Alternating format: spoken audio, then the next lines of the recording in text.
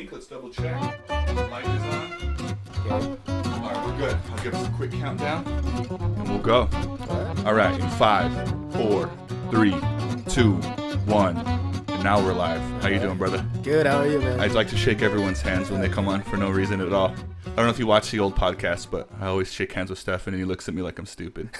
But well, that's kind of what Stefan is. Uh, he he just kind of has that reaction. He just looks everybody, stupid? I think. No, I don't think he looks stupid. He just, I think he thinks I'm stupid, and he thinks. I don't think he thinks I'm just kidding. I think you're kind of stupid for saying that. well, you're a jerk. Well, this is the end of the podcast, by the way. I'll see you. I'll see you later. Is um Jose is it Olivas Mendoza? Do you go by one and not the other? Mm, It's Mendoza Olivas. So it's it's it's a long story. We How'd you end up with two it. last names? and I'll tell you, and it, and it used to bother the heck out of me. So, um, when I came to the U.S., I came to the U.S. when I was 11 years old, right? From where? From Mexico. I was born in Mexico. I was born in a town called La Junta, Chihuahua. It's a small town. La. Junta. That sounds like a, a lyric from Well, a Pitbull song. Um, yeah, yeah. Dos, tres, cuatro. um, but yeah, I grew up there. Um, I came to the U.S. when I was 11.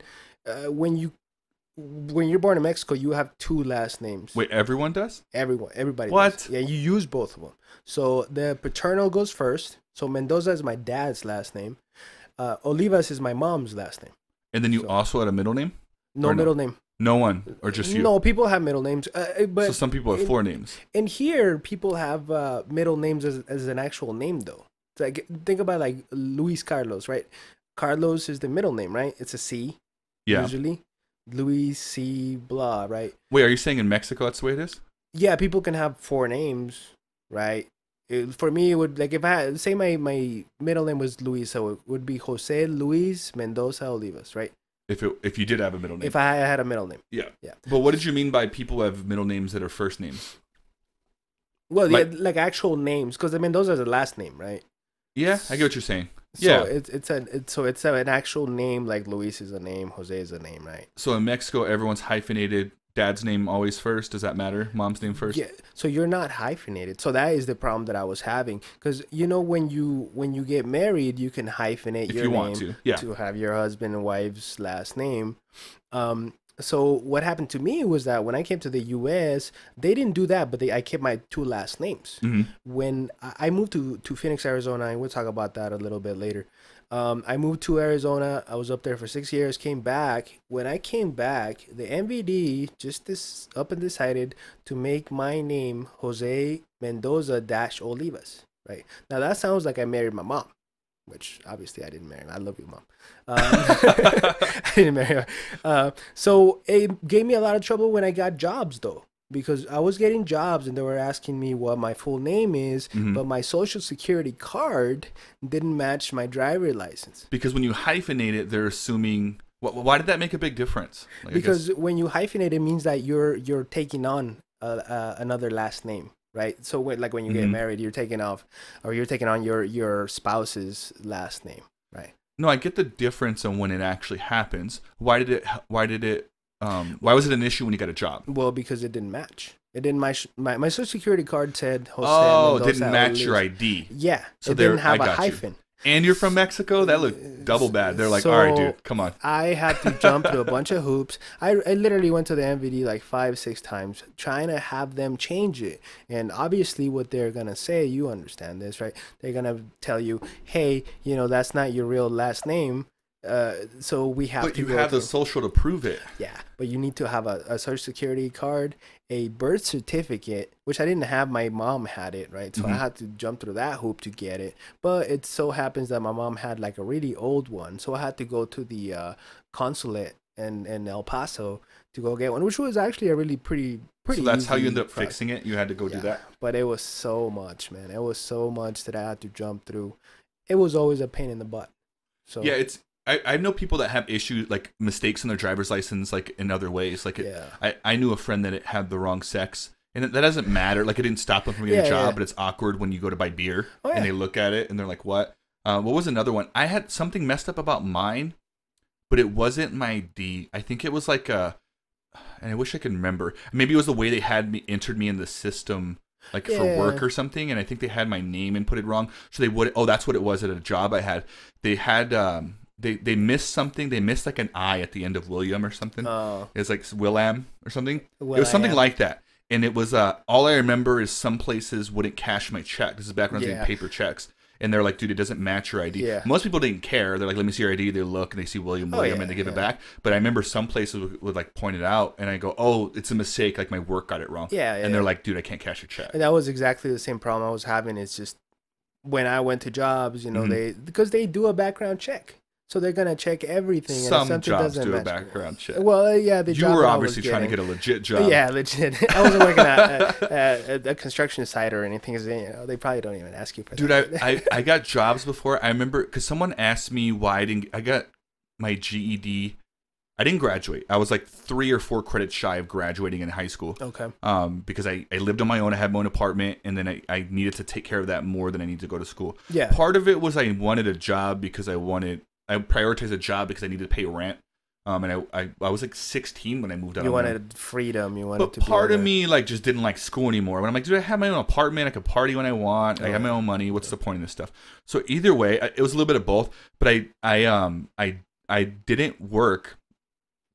Why am I telling you this story? What were we talking about? Dude, I totally blanked right now. 'Cause I- Uh, oh, about um. Yeah, the double. Well, you were talking about the. We were talking about my double last name and how my driver license was messed up or whatever. Bro, I can't believe this just happened. I like literally like forgot there's a reason why I was telling that story, and now I'm like, like I don't have any goddamn idea why I did that. Dang it, dude! I was. It's all good, man. We can talk about something else. It'll, it'll, it'll come Nah, back to man, us. we gotta talk about this. eh, What was I thinking though? God damn it, dude. So you you were saying that you wanted to have an apartment because, or you wanted to have a job because uh, you needed to have No, a I know job what I was to have an literally just talking about. I'm trying to figure out what my point was. I feel I- like I was relating it to something you were saying. I think you were um, talking about the the the. Uh, do you say you? I've had jobs that they don't check you or whatever, and I've had. Oh yes, thank you, God, dude. I don't even smoke weed, and my memory's messed up. no, so I essentially like I never graduated, and I also didn't get my GED for a long time. Okay, gotcha. And because and there, I've always knew I should, but I would just I would apply for jobs, and it would say like, "Do you have your diploma or your GED?" And I would always select diploma. Like I would never put GED. I just Oh, put yeah. diploma, and it said what year. I put 08. Um, Okay. And it, they uh, a lot. It some of them were like, We're, "We'll do background checks," and they never did. Um, and so it would never come back. I would always get jobs. So I, like for the longest time, I was like, I'm just not gonna like get it ever. yeah, yeah. And then um, when I went to get the job that I work at now, I They're was like, like, dude, "Hey, they're gonna check for sure because it's yeah. a legit Oh, job. yeah. Like, and uh, so I went and got it. Like I remember, like I'm gonna have to study, but I knew that they were gonna hire me, and I knew. I had a really small window. And they're like, when I called, they're like, we can get it. you in next week to test. And so I was like, just sign me up. Yeah, So I just went in and tested and passed them all, dude. Hey, Thank yeah. God I didn't even study or anything. that's good. But it looked out. I got it, and then I, they never asked like for me to send them in, even on this one. So I don't know. like, Yeah, if it yeah. ever. I don't even know if it matters like at all. Like I'm not encouraging people to not go to school, but I'm Yeah, saying yeah. like a lot of places don't care. Or if you just put you have it, then Yeah. you have it. Well, I think most most of the places don't really care too much about the actual schooling. They when they do a background check, they care more about like uh, crimes and, and if you have any background criminal offenses or That's any true. kind of drug situation or any kind of like theft. That because you know if you're gonna be working in retail, working their cash register, you probably don't want to have some kind of you know you stole something from a from a register in the past, right? You don't want. I almost- not gonna try to hide I it. almost had a history, man. Because here's the thing: is I have family members and friends that, that are felons for sure. Okay. And when I consider, when I always think about like their lives, the reason why it doesn't bother me, or I hate when people are like that person's a criminal. Dude, we're all criminals, no, man. ain't- Because when I look at some of my friends or family that I'm referring to, Yeah. I did some similar stuff, if not the same thing. I just never got caught. Yeah, And so yeah. when I look at people that have like backgrounds and stuff, first of all, what they did matters. Yeah, but yeah. mostly, like, I don't really judge people like that. Yeah. Because I almost, I'll tell you a cool story. A lot of my friends know this, but now the whole world will know this. I almost was one of those blue dots on the internet dot. I'm talking about a, a sex offender, man, but Oh. not not in the way that you're probably thinking of, man. And so I hope whoever's listening like- doesn't shut the video off right now. I uh, on my 21st birthday, uh, my buddy Lloyd Hector, they're like, dude, we're taking you out. It's your 21st. I ended up going to Graham Central Station when that was a thing here. And we, I got, I was, I think it was hammered before we got there. I definitely drank too much. It was my 21st. I was being super duper encouraged by everyone to drink. Yeah, okay. We got there. I drank more. A big fight breaks out that night. One of the NMSU basketball players ends up getting cut open. It was one of the craziest things ever. They there was a huge fight. He got his someone cut him open with a bottle, And he, Oh. I saw him Oh. holding his intestines in his hands, dude. Oh. That's how So bad that it was. Oh, he wow. fell over. They had to they drop a helicopter in, like to pick him up. Crazy night. While all this is happening, I'm hammered. And so I'm like, what? And I had to pee so bad. And they wouldn't let us back in the club because all this is before the helicopter stuff happened. This is like when he came outside, he's bleeding. People Yeah. were fighting. The cops are trying to like get people situated. Um, they wouldn't let me back inside. And it's like, you guys need to leave. Everyone starts walking to their cars. And while I'm walking to the car, I'm like, dude, I just got to pee. So I'm going to pee in this parking lot. and so I end up walking over to a random car.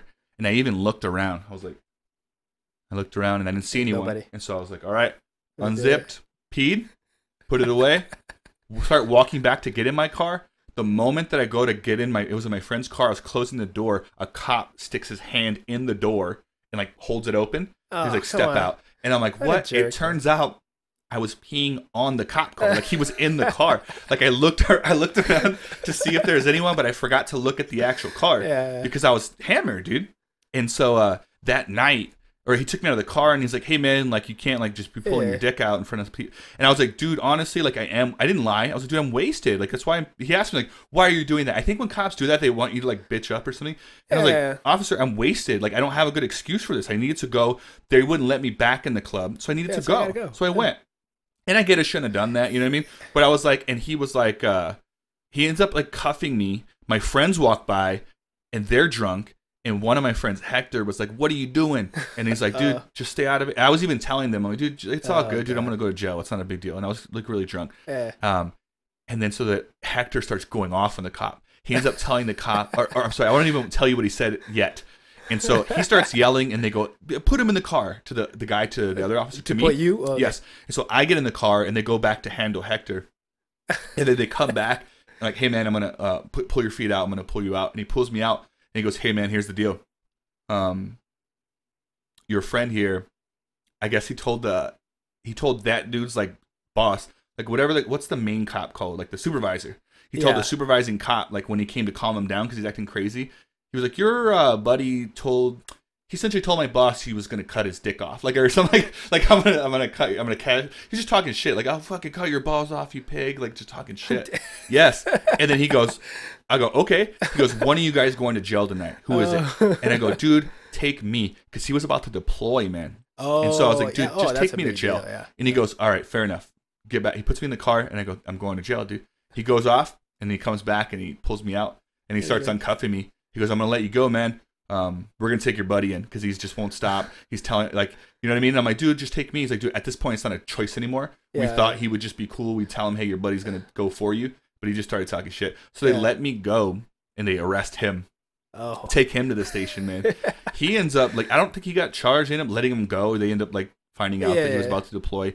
Um, they did charge me though, even though they didn't take me to jail. They charged me with indecent exposure, Oh. and so I was like, or they were charging me with it, and I was Yeah. like, man, like. Like I don't know what that means. Like, am I gonna be one of those dots? uh, and I was like, I was really scared because I'm like, dude, I was 21, I was drinking, like it's Oh, a yeah. stupid mistake. Um, and then so I go to court for it, and I'm gonna fight it because I'm like, in my head, I'm like, dude, I'm gonna be a sex offender. yeah, that's And the worst part, man, is like, so when we get to court, you ever been to court for anything ever? yeah, yeah. I have. So there's a bunch of people there you don't know. They're all there for Oh different yeah, reasons. And they'll be like, uh, Sabrina, whatever, come up here. So you're in here today for evading a police officer and for going 10 over the speed limit. Yeah, How do you yeah, plead? And they'd say your charges, right? Coming up next, uh, um, Danny, Danny, you're in here because you keep fighting with your mom and you're a gang affiliate. they go through all that, Yeah, right? yeah. And then it's me, and they go, uh, William Palmer. And I go up there and they go, You're here for, um, well, you know what you did. and then everyone, which I hate that he did, man, because like everyone in the the courtroom, uh, like was looking at me like, damn, Hey, like, what did what did he do that they won't even talk about it, man? They probably thought I was like a murderer or something. Guy. And I was like, what? Like, it, he ended up asking me about it, and I ended up just telling him, like, like honestly, man, I was 21. It took forever to get a court here. It was like seven months later. Oh yeah. I was like, man, like, I don't like really drink anymore, and I had. And I'm Yeah, like, like. I don't like. It was just a stupid mistake. I told him about the event, and he's like, dude, I remember that happened. He didn't say, dude, but he's like, I remember like that that because it was an NMSU basketball player. Yeah. So he's like, Oh, I remember that's that happening, deal. and then I told him, Your Honor, like I like this will never happen again, and he ended up dropping it, man. Yeah. Yeah. And but then here's the weird thing is he ended up telling me like um that it's not a felony for indecent exposure. you're allowed in New Mexico, which is fucking crazy. Well- I don't know if this applies to everything, but you're actually it's a misdemeanor. You're allowed two misdemeanors. So if I pull my weenie out and I get indecent exposure, it's a misdemeanor. If I do it again, it's also a misdemeanor. If I do it a third time, it becomes a felony. I thought it was if you were close to like a like a middle that school, matters too. school, That matters that too. type of thing. That matters too. Yeah. Um, and so, but it, it no matter what it is, like if it's a sexual involving anything, whether it's like a if a Yeah. woman walks out of a bar with her like shirt down, you know Yeah. what I mean, she can get charged with something. It's a misdemeanor. Yeah. Okay. But if she were to continuously do it on the All the third one, it would become a felony. Gotcha. Okay. So I would have been good either way, but like, dude, I was so happy, Oh, and I'm yeah. like, it made me realize, like, damn, like I gotta make sure I don't make stupid decisions, Yeah. man, because like, Pete, you get labeled. Let's say, let's play out a different scenario Uh, that I did get charged with that.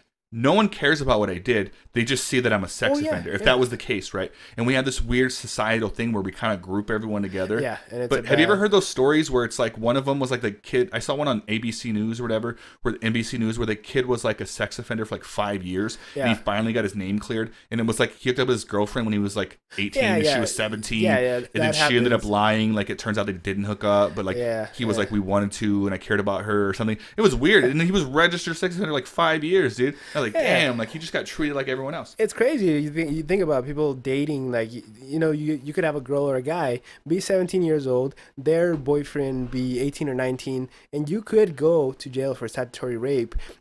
If you wait until you're 18, and then the person that your boyfriend or girlfriend or whatever is 19, I just good. think there should be It's a matter of a levels the way there's levels to like different things, right? Like Yeah. not that like dude, I don't care, right? I think if you're like registered, you probably did something wrong and you shouldn't have done Yeah. it. But I, I it always makes me think that how we like uh a friend of mine, we actually got into a conversation about this recently, how we kind of like bunch we're we're addicted to grouping as a society. Like we group people together. Yeah, yeah. Like Oh, uh, yeah. and then in between those groups there's even smaller groups, right? Like if you've been to jail, you're a criminal. Oh, You're just a Yeah, criminal. yeah, yeah. We don't care what you did. You're a criminal. And then within those criminals, like if you're a murderer, then if you're charged with murder, you're a murderer. If you're charged with battery, then you're an abuser. And Oh, like- yeah, and then yeah. it gets even smaller, right? But we like to group people together. But I think we forget to like, ooh, all right, what happened, and understand that a lot of people. Kim Kardashian has gotten so many innocent people out of jail. Have you seen that? She's been I running a program it, where she yeah. helps innocent people fight their charges, and she's gotten some like obnoxiously large number of people Yeah. out of jail. When I say obnoxiously, like what I mean by that is like, dang, like there's a lot of innocent people in jail, man, Oh, well, and they're yeah. humble when they get out. Just- they're like, I'm just glad that like I'm free now. Like you were in there for 15 years for a crime you didn't commit. Like that's crazy. That's Well, crazy, think, dude. Think about all the people that are in, in jail for for drug offenses, right? Like you know, you could be walking down the street with a joint uh, right now. That's another somewhere. one. They're talking about.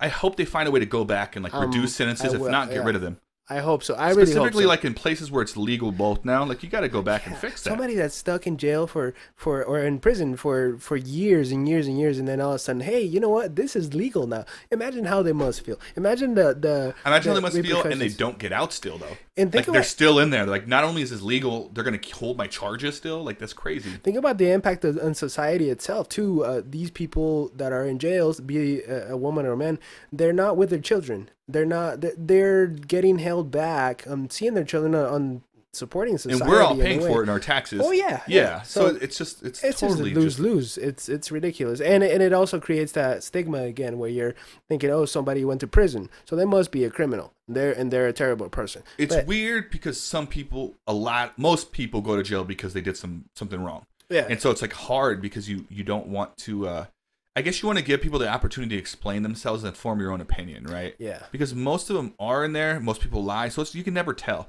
So that's why you just gotta pull the facts that you can get. Just try not to make uninformed opinions. It's just really easy to be like you're bad. You did a bad thing you're bad. Yeah. and that's just not true. There's And yin and yang. Bad people do oh yeah, good things sometimes and good people do some bad things. Oh, yeah. and if you just like going back to like me like i've done some crimes that like i never got caught for like but but no people will hire me.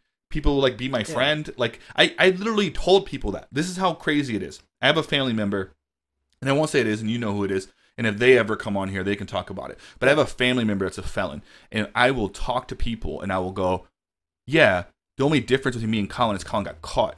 But Yeah. you can tell people look at it different. The moment i say that they still i will flat out tell them and they will still look at me different than they look at him. And it's like like damn, like just because the label's there, like we like I'm admitting that I've done some bad stuff. Yeah, And- and, and a lot of time people form their opinion based on that, like the second hand or third hand experience on, on hearing about it, right? They'll they'll think about like, oh, you know, they heard that this person went to jail, but they may they might not know that person personally or, or closely, right? So they'll form that opinion just based on what they know, but not necessarily a factual information in the background or or that because they're friends with them, they heard it through the gate, grapevine, right? And they they Yeah. form their opinion, and that's and that's unfortunately what's happening right now with all of us in social media, right?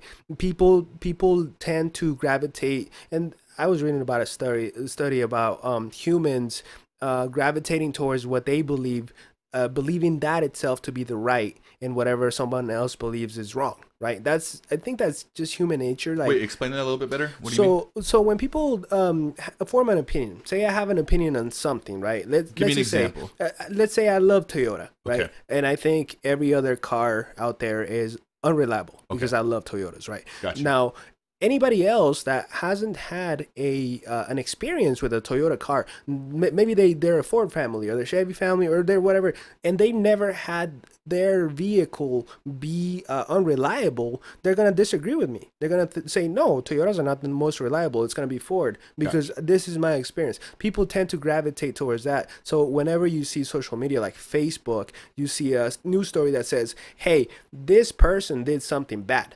You form that opinion. So now when you hear about that person doing something good, you're like, no, that person's terrible. I mean, we're seeing it all the time with. Can't, I, I don't want to get too much into that because, of course, it's- talking about Trump? uh, well, not not specifically just Trump, but anybody else in general that that gets talked about. Like they Yeah. have that Avenatti guy. They have you know all these people. Like they they lead you to lead a, to form an opinion on him first, and then they find out oh the guy is actually a piece of shit, right? I mean that's that's hard to undo for some people, I and that's think- the problem. I think you're 100% right. And I think Trump is the best example. And I, I'm guilty of this, right? I, I've talked about this. I don't remember if it was on a previous podcast or just talking to a, a friend, but literally, I'm not a huge Trump fan. So when people say things about Trump, I automatically assume bad That's a things, bad right? thing. And Yeah, so it's it's- weird how you're right. Like once you have an opinion of them, but here's the thing: I've I've known people that are, are being completely like unbiased, and they'll talk about some of the good parts. Yeah. But my mind immediately goes like, yeah, but he's he's racist, and, it, and so like it immediately like eliminates everything else. But in reality, what I should be doing is like maybe he is a good businessman. He can be both, Yeah. right? Can we not appreciate that he's a good businessman? Can we not appreciate that maybe he's a powerful figure, but he's Yeah. also kind of stupid and he's kind of racist and he says some dumb things and he's petty. He can be both. It shouldn't be offensive if I go, "Hey, he's a good businessman." Because if you say that yeah. to some people, they go, "You don't even know all the people he stepped Yeah. on to get there." Oh, I go, yeah. "Oh yeah, yeah." I'm not saying it's ethical. Trust me. You And think everybody- Oh, Steve Jobs didn't do some unethical oh, stuff yeah. to get to where he got to? You don't think the, the Facebook dude did some oh, stuff? Oh, yeah. But nobody, when they mention Mark Zuckerberg, we think about a rich young guy that's ambitious. We all want to be like Yeah. him. Oh, yeah. Maybe not so much recently with the new stuff, but you really think that way. But when you hear a name that you associate with bad things, something as bad as racism, and you tend to not listen to anything else. you label that and you create a sit- Yes, like it's going back an to opinion. labels. So I, I wanted to talk a little bit more about that just just because I feel like a lot of people have a misconception of, of what Trump is and what specifically it's is affecting us. And I don't think that people realize that what is affecting us isn't necessarily like his policies or uh, what he has been able to do or not do. It's more his character. People people love him or hate him because of who he is. He's brash. He talks. You know, he says like says it like it is, right? Yeah. And, and people either love or dislike that. I don't necessarily love it, but I don't dislike um him as a president because I believe that he's just a figurehead, man. I mean, the, the presidency isn't just one person. There's a thousand It's fun thousands to of people hate working. Trump. We have to admit that.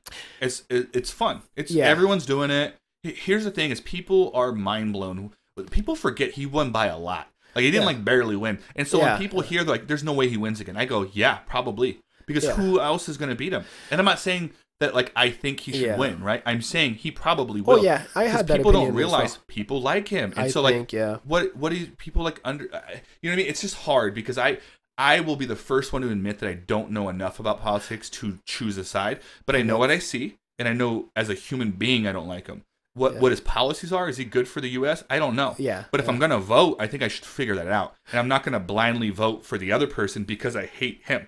Like, yeah, that's just not how I do things. Yeah, And yeah. it could be anyone. Remember, it was Clinton, uh, Hillary, and everyone's like, "Well, who do we vote for? We hate both these people." And, and then you hear about all this stuff that has happened in the background, like the uh, what is it, DNC, the Demo- Democratic Mm-hmm. National Committee, uh, screwing everybody else over to go for her. Right? That's that's shady in itself. You know, you're thinking about like voting for a politician because you like their policies, because you think they would be a good uh, president to the nation. Yet you start off with that. That's terrible. I mean, no matter who is gonna be the president, if they have a shady background or shady um, it just gives you a bad impression of that person. No matter how much you hate the other person, it's kind of like between a uh, choosing between a, a turd taco and a huge douche, like uh, like like uh, South Park put it. That was great, right? It, it- the turd taco or uh, giant douche. Which one do you want to pick? They're both shitty, right? You know, Yeah. pick your poison.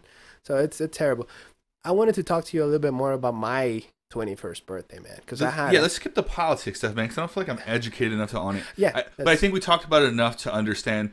Because the main reason it was brought up was because of labels, right? Yeah. We're talking about how we label criminals or we Yeah. label people, we label him, and we're both admitting that maybe we shouldn't do it that much, right? Yeah. So we can leave that one alone because I, I, I hate getting too deep into it. As a And white like- dude talking about Trump, man, it never ends well, and I kind of don't like him. But if I remotely say like something like I think he is a good businessman, and I'm just solely basing it off the fact that he has a lot of money, Yeah. I don't know. I started this conversation conversation off saying I don't know. People will get upset, and, And then- so that's why I don't want to get too deep. Into. Unfortunately, that's the problem with most people, though, is that most people are uninformed. They most people don't know, but they want to. Not only are they misinformed, they pretend they are informed. Yeah. At least I'm admitting, hey, Oh, yeah, yeah, don't listen me to me, too. I dude. I, don't know what I'm talking about. I don't know. I don't Yes. know about the the policies with China or. But you will get people that right? Feel like they're totally, Yeah. totally. Um, because they follow a specific uh, stream of. yeah, if I follow a bunch of people that like a certain politician, I'm gonna Yeah. feel that way. You feel How like you many know are them. you watching about the other person or that hate the person you like? Yeah. Anyways, I definitely want to hear about your 20. This is about your 21st birthday, like Yeah, your actual 21st, birthday. first, yeah, the twenty first birthday. Did you uh, almost catch a sex offender charge? no, I did Because you do realize you have to top that story, right? I don't. Uh, I I didn't. don't have I to do didn't. shit. No, I, I don't have to do shit. Uh, well, uh, so I I didn't do that, but I Let's hear it. did have a pretty interesting one that I remember fondly because it was fun and it was very. It was very interesting. So I, I was 21, right? I had a roommate, um, an old roommate. Actually, it wasn't my roommate anymore. I had he had been my roommate before. So you guys were Um, friends. Yeah, we were good acquaintances. We were going to school at the same place, right? Uh, this guy was going to school for, I won't name names because I don't really like to do that, but this guy was going to school for uh, advertising, right? Okay. So he was really good at advertising himself. So this guy knew everybody. Kind of like you, man. You know everybody. When you go to the bar, you know you know everybody. Everybody's like, oh, hey, Yeah, I like up?" to I like to, to know. Yeah, I like to have a big audience. So yeah. this guy knew everybody, right? And he's like, "Hey, man, we should go to this uh, place in Phoenix called uh, Chili Bombers. It's a bar up there." Um, and he's like, "We should go there." I'm like, "Okay, well, it's my birthday, right? It's my 21st birthday." is that where you lived at the time, or you lived? I, I lived in Phoenix. Uh, yeah, I lived in Phoenix for, for about six years. I went So to this is during that college time. over there. Yeah, so during that time I was 21. Um, so I I go to Chili Bombers with this guy. He's, uh, you know, super. He knows everybody, right? He's Mhm. super popular. Uh, so he, and he goes around, you know, you know what happens when you're 21. He's like, "Oh, hey guys, check this out. This is my friend. buddy's He's 21 today." Uh, so yeah, I ended up drinking Shot, way shot, too shot, much like at that like at my bachelor party you remember that doing Yeah. the chicken dance um, i didn't get that like that but yeah it was pretty bad so anyway i made it through i didn't die in the i didn't die in the You made bar. it to the club. well i made it to back home right? Okay. and i'm sitting there i remember playing this game called uh, fight night. It's a boxing game. I used, to, love, that game, Yeah, Yeah. hell yeah. So i got home and i'm playing it. I'm i'm shit faced man. Uh, and then uh, another uh, one of my roommates and his buddy come out and they're like oh you know we're gonna head out. We're gonna go to over to our buddy's house or whatever go hang out. I'm like oh cool man. You guys have a good night whatever blah blah. Yeah. so i'm sitting there playing they we live in the third uh, floor by the way. So we had a, an apartment third floor. Uh, they go out. Not three four minutes later uh, my buddy's friend comes in and he's like hey man so and so just broke his foot or broke his ankle. And i'm like what? And i'm you know, I'm shit faced, dude. So, so I'm like, what? I, I run outside, and sure enough, my, my my friend is sitting there holding his leg, and I'm like, oh shit, he broke his ankle, right? Like, what are we gonna do, right? I'm I'm shit faced. I'm not thinking straight. I'm like, what are we gonna do? We, we you know we, we need to take him to the to the hospital or whatever. So we do get a little crew of people. We got this little tiny little car that uh, a friend of mine had at the time. Tiny What kind of car was it? It was a, think- like, what would you compare it to? a, a tiny little Toyota Corolla. Uh, So it's a four door or two door? it's a four door. just really small. Yeah, but- and, and probably like an 88, 89 Toyota Oh, Corolla. If, if you've never seen one of those, it's about the size of the probe that you had outside, the red little probe you had. It was a Elantra, but it was an old Elantra. Okay. A really old one. Yeah, so about that size of that, right? Okay. We packed about eight people into it, and here we are. Christ. Including broken ankle guy? Yeah, he broke it, including him. So we we drive down to the hospital, and I'm sitting there thinking like, oh my god, he broke his ankles. I'm still freaking out, right? Because I'm, Yeah. you know, I'm super drunk. So we get to the hospital. Um, we're all hanging out there. You know, we're waiting in the in the waiting room in the emergency emergency room, uh, and then uh, eventually someone comes out. And they're like, they're just looking around. I guess I didn't call a name. They they come around. They're looking at us, and they start looking at me, and they're like, "What happened? Like like what's wrong?" Because I was sitting there in the chair, mm-hmm. freaking wasted, right? They're looking at me, and I'm like, "No, it's not him. It's it's that guy over there. Go look at him because he's got the broken ankle." But they were looking at me like I was like the guy that was gonna get admitted to the hospital Because I you're all was hammered. I was sitting there looking like I was about to pass out. That's funny, man. So that's my story. It's not as cool as yours. Wait, you never, how did he break his ankle? So he didn't break his ankle. That, that wasn't the point of the story, though. I know, That but that's what piqued my interest. I'm like, wait, is he okay? Yeah, he he twisted his his uh he sprained his ankle. He didn't break it. So he basically he had, he did have So to wear a boot for a little while. You didn't all eight need to be there. Well, yeah, yeah. I guess we all kind of overreacted. But I mean, he was sitting there holding his ankle. I'm thinking, oh, it's broken. I'm shit faced. So it's broken ankle, right? Well, yeah. Plus, your friends hyped it up. It probably it's Yeah, he ran back up and he's right? like, he just broke his ankle, and I'm sitting there shit faced. So I'm like, oh, uh, oh my god, you know, I- let's if, go help if him. I was, this is how bad I used to be. If I was 21 and I was wasted, and they're like, "Hey, uh, whatever," one of my friends he broke his ankle. Like, oh, thank God! Like, I'd be happy that he nothing worse happened. oh yeah, like, dude, just Didn't call 911. neck. Yeah, Yeah. Like, yeah. Like, they get beat up? Do we have to go find someone? But if they broke their ankle, we- I'm like, dude, we were God, poor though. We were all poor college students. Didn't have any insurance. None of us did. I didn't have insurance. Yeah. He didn't have insurance. I remember him talking to me about the bills afterwards and having to pay a bunch of money because of his sprained ankle, and he had to get one of them boots, and he had uh, um, crutches for a little while. So. Anyway, uh, that's my uh, 21st birthday story. I love Yeah, it. yeah. But definitely didn't top mine, but it was pretty cool. Yeah. I thought you were going somewhere with your buddy's ankle, man. I thought that was gonna be the Well, I didn't. I told you it wasn't gonna be that, and I and I said I didn't really have to top up, shit, man. so I didn't have to top shit. So you know, whatever, man. No, yeah. man. So, I think, uh, man, have you ever been to the hospital like admitted? Well, I work at the hospital, so I I've know been at that. the hospital a lot. Have you been admitted? No, I've never been admitted. You never Actually, I have been admitted to the hospital uh, in Mexico. It wasn't an admission though, uh, so I haven't been admitted. But I was, um, so I was in a. I'll tell you background. I was in a in an accident when I was 16 years old. I was on the back of a pickup truck. Uh, my good buddy from Mexico was learning how to drive Mhm. uh, stick shift, right? So we're in Mexico. There's a lot of dirt roads out there. We go out and he's uh, he's driving on this uh, really um, sandy kind of rocky road, right? And he, he's pushing it because he's learning how to drive. He doesn't know what he's doing. Mhm. He's doing about 60 on a dirt road, and we're just cruising in, in a Sounds like he road. knows how to drive to me. If you can hit 60, you officially know how to drive. well, that was a bunch of a bunch of boys in a, in a went through at truck, bro. five gears, man. Come on, yeah. Well, he just kept going up. Maybe he didn't know how to go down. Can you go down. How do you do it? You can't like go from uh, five to one hitting the hill on your bike, but you don't know no one tell you how to brake it. Yeah, so you just go faster, right, and see what happens. Uh, so anyway, we're going down the road really fast, and uh, the truck. I was in the back of the truck, and I'm sitting in the Like bed literally of the, the bed. Okay, gotcha. Yeah, I'm sitting in, on the side of the, the, truck, you know, doing 60 like That's an idiot smart. at 16. Um, and so the truck starts fishtailing. Obviously, you know, sandy road. I fly out. I flew at the back of a truck. Man, I remember. I remember to this day, like the feeling of it. I was falling back, and I remember that the sky was like super blue, Mhm. like not a cloud in the sky. And I remember thinking, thinking like, oh my god, like I just fell out. Like what the hell? Did you break anything? Well, I I smacked my head. I got a lot of scars. I didn't break anything, but that's uh, that's a segue into that. So I my brother took me to the um to the hospital. It's a Mhm. small clinic, really, what they have over there. Uh, and they were like, "Oh my God, you know, he, you have a fracture in your cranium, right? So you're gonna have to go to the big hospital, which is in a in a whole nother town, like an hour and a half away. Jesus Christ. So I had to drive. My my brother drove me with his girlfriend at the time. Mhm. I'm in the back holding my head with a towel, driving for about an hour and a half. Were you bleeding from your head? yeah, it was well. They took me to the to the to the um the clinic for a little bit, so they patched me up a little bit. But I I'm got you. holding a towel to my head. You know, I'm like open still. And driving down the street, they they did some X-rays on me.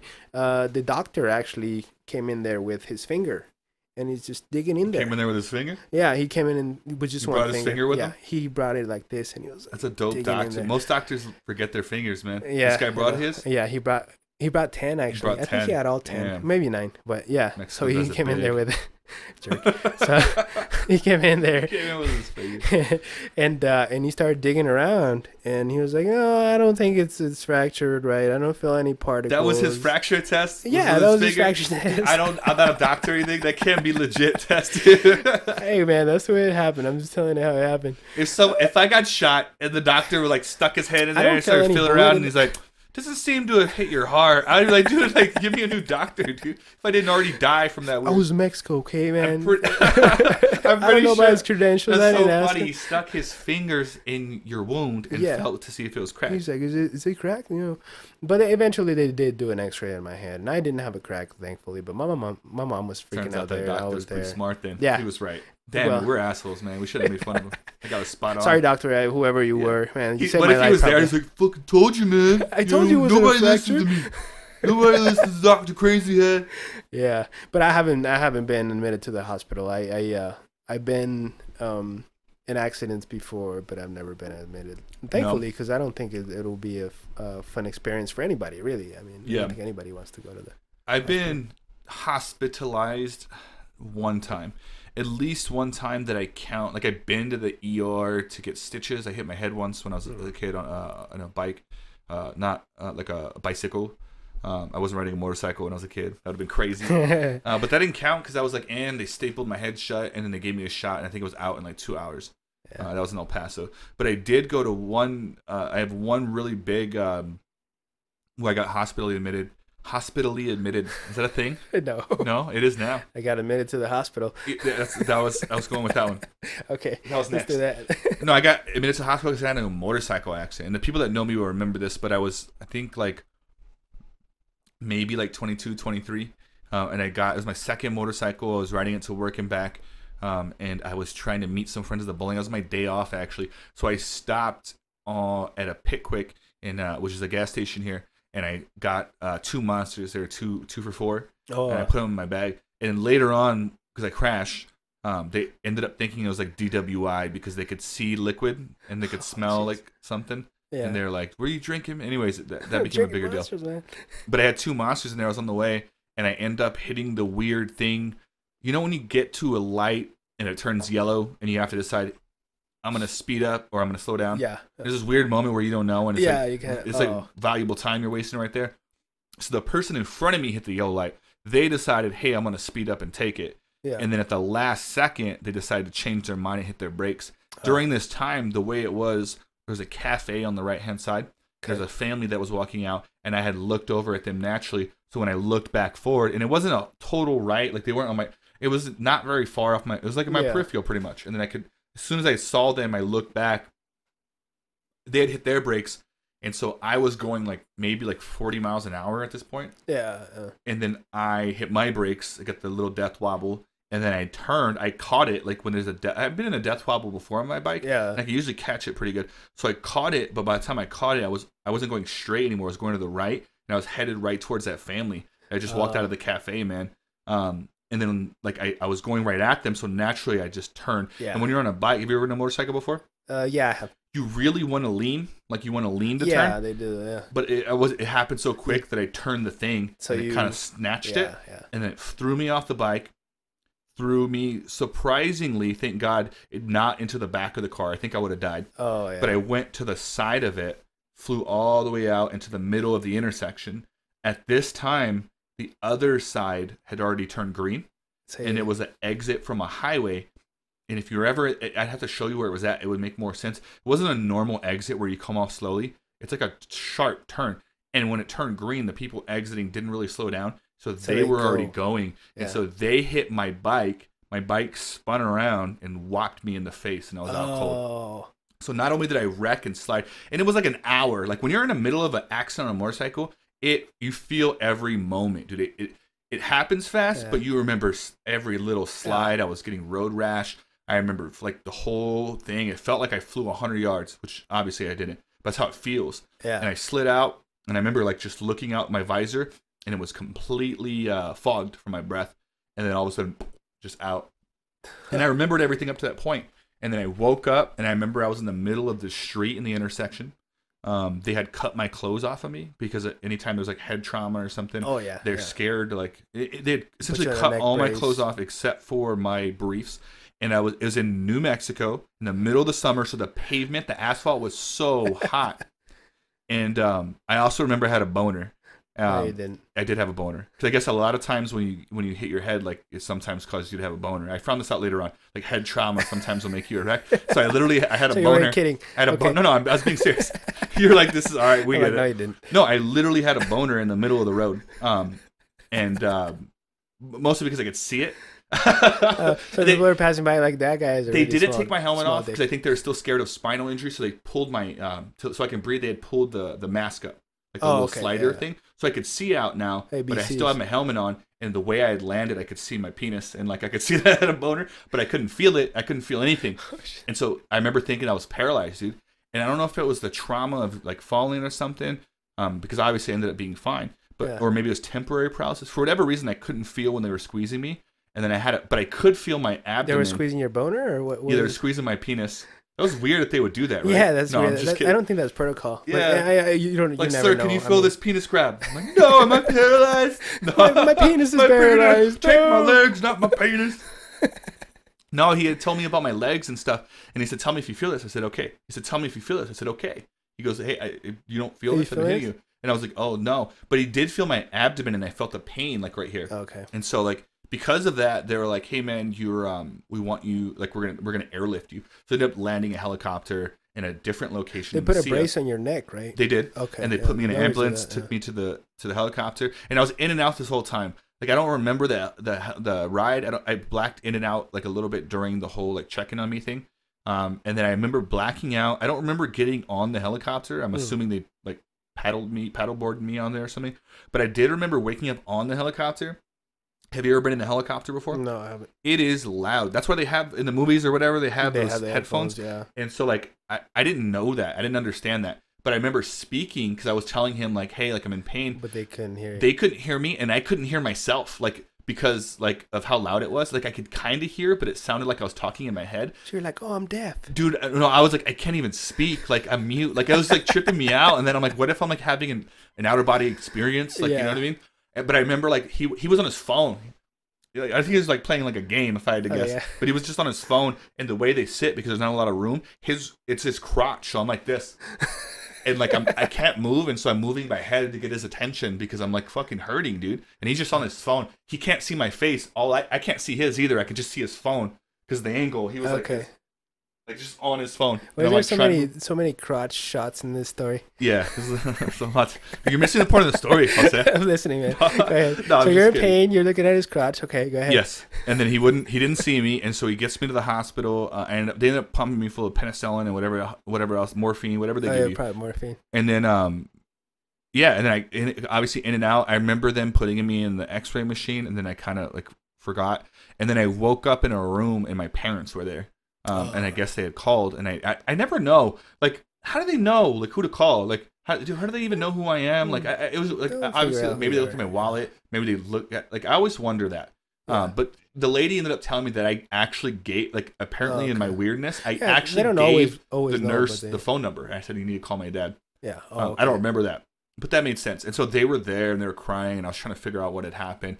Um, and I remember they came in and they were like, uh, "Hey man, we uh, we did some X-rays and you're good." And I was like, "Like I'm like I'm gonna live, like kind of thing." And they're like, "No, like you're good, like like nothing's wrong, Yeah. like you're fine." And I'm like, "Well, something's wrong, dude. Like I'm like, a what do you mean nothing's well, wrong?" Yeah. they didn't even bandage me up, dude. I was bleeding from my arms. My knees had grinded like down. Like I still have Oh, scars yeah. on my knees. You could see my bones, dude. And they were just there. And then uh, they're like, "Hey, man, like you didn't, you don't have anything wrong." They did an X-ray, and then whatever the other scan is, where they look at your organs. I don't know. Is that an X-ray? What yeah, like a CT. There you go, yeah, CT. yeah. and they're like, "Hey man, like I don't know what happened. You might have had temporary paralysis. Like you obviously hit your head hard Oh, um, yeah. because of the boner." That's not what he said. He didn't say like because of your boner you have head trauma. He said because of your head trauma that's why you got the boner. And he was explaining stuff to me. And then he goes, "Well, you're good to go whenever you're ready."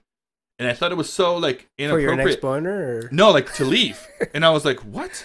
And they're like, um, "No, like, dude, I'm like bleeding." Like, Yeah. and they go, "Oh, I mean, do you want us to like clean you up?" Like he told me that, and I was like, Yeah. yeah, yeah, man. And he goes, all right, we'll do that, and then we'll get you out of here. And I was like, what?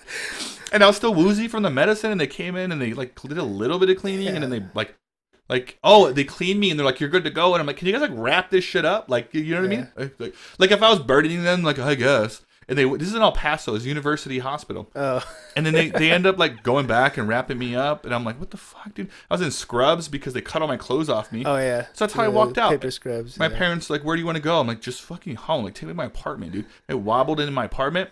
Here's the worst part of the story. So I'm gone. Remember I told you I was meeting my friends at the bowling alley? Nobody thought it was weird that I didn't show up. So nobody came looking for me. Dude, I get home and my roommate is having a fucking party, dude. There's tons of oh, people at my Oh, house. yeah. And they're like, Will! just show up. and my friend from out of town was Is coming that a in town. costume party, Will? What are you dressed as, bro? Dude, it's even worse. My buddy that was traveling down from Albuquerque that was there, he just showed up. Like he didn't know anyone, and my roommate was there. He's like, "This is Will House." He's like, uh-huh, "Yeah." Oh, yeah. And he's partying with them, and I'm like, "Dude," he's like, "Dude, I was wondering where you were at." And I'm sitting there like, "What happened to you?" And I fucking I cussed everyone out, and I was bleeding, and I walked Oh, in. man. One one of my roommate at the time was like, "Dude, you need to get high," and he gave me a hit from a zong. It was like a bong shaped like a Z. Oh, Took a A big old hit, dude, and then I just got high. And the next morning, I felt it all, and I took my meds and stuff. But that was it, man. And then I went and did a follow-up appointment in Cruces, and they're like, "Dude, you didn't break anything. You don't have any fractures. You don't have any organ damage, luck. dude." I don't know what happened. It was more than luck, I think. Yeah. But for whatever reason, like nothing ever came up of it. I just moved on. I did get a really expensive helicopter bill though, Oh, um, yeah, which I did yeah. not pay, and it came off my record. Thank God. yeah. That's, as kind of kind of like thinking back to when I fell out of the truck and how that experience was when I was like, I remember going back home. They did bandage, bandage me up, and you know they took me home or whatever. And I remember the third or the second, third day, uh, having to take the bandages off and taking a shower.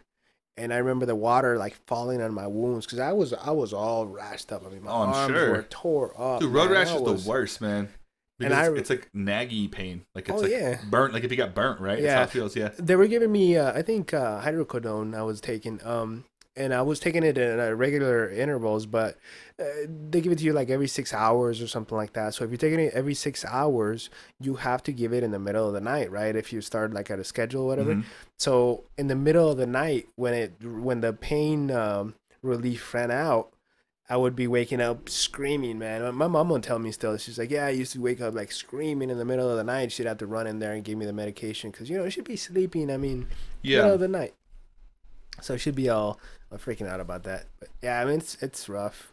I I got lucky too that I didn't have any breaks, any anything. Yeah, you're going major. pretty fast, dude. I always Yeah. wonder when I when remember rolling a bunch of times. when I think about that, when I think about the accident, I think about that, and this is a weird segue into this, but then I think about other people that have died, um, and it's weird how sometimes people die from less, Oh yeah. like like the Yeah. stingray dude, uh, the Oh, yeah, Steve crocodile guy. Yeah, Yeah, it's like he died from that. yeah. Do they let you pet the stingrays at the, like the zoo? Well, But here I am. penetrated his heart though. yeah, I get it. This was a it was an asshole stingray. He obviously Yeah, like plotted this. stingray, man. He's like, I'm more than just a stingray. I'm a stab ray. Watch this, and he just took his heart get a petition going to go and find that fucking stingray. And I don't think any. Was it in the ocean? I don't even know the full story. yeah, but in either. general, you get the general idea. Is like I always think of people like that, and I go like, damn, like. And then I think about me, and I'm like, dude, I should have for sure died. Like, See, we formed a, an opinion on that stingray already. We, we don't even know what do you if that think we're stingray was like. the stingray? Yeah, Do you think other sea creatures judge? Fuck no, they don't. There's no like judgment. I know down my there. dogs judge me, man. Paloma judges Yeah. the fuck out of me. but not in the ocean. Dogs judge for sure.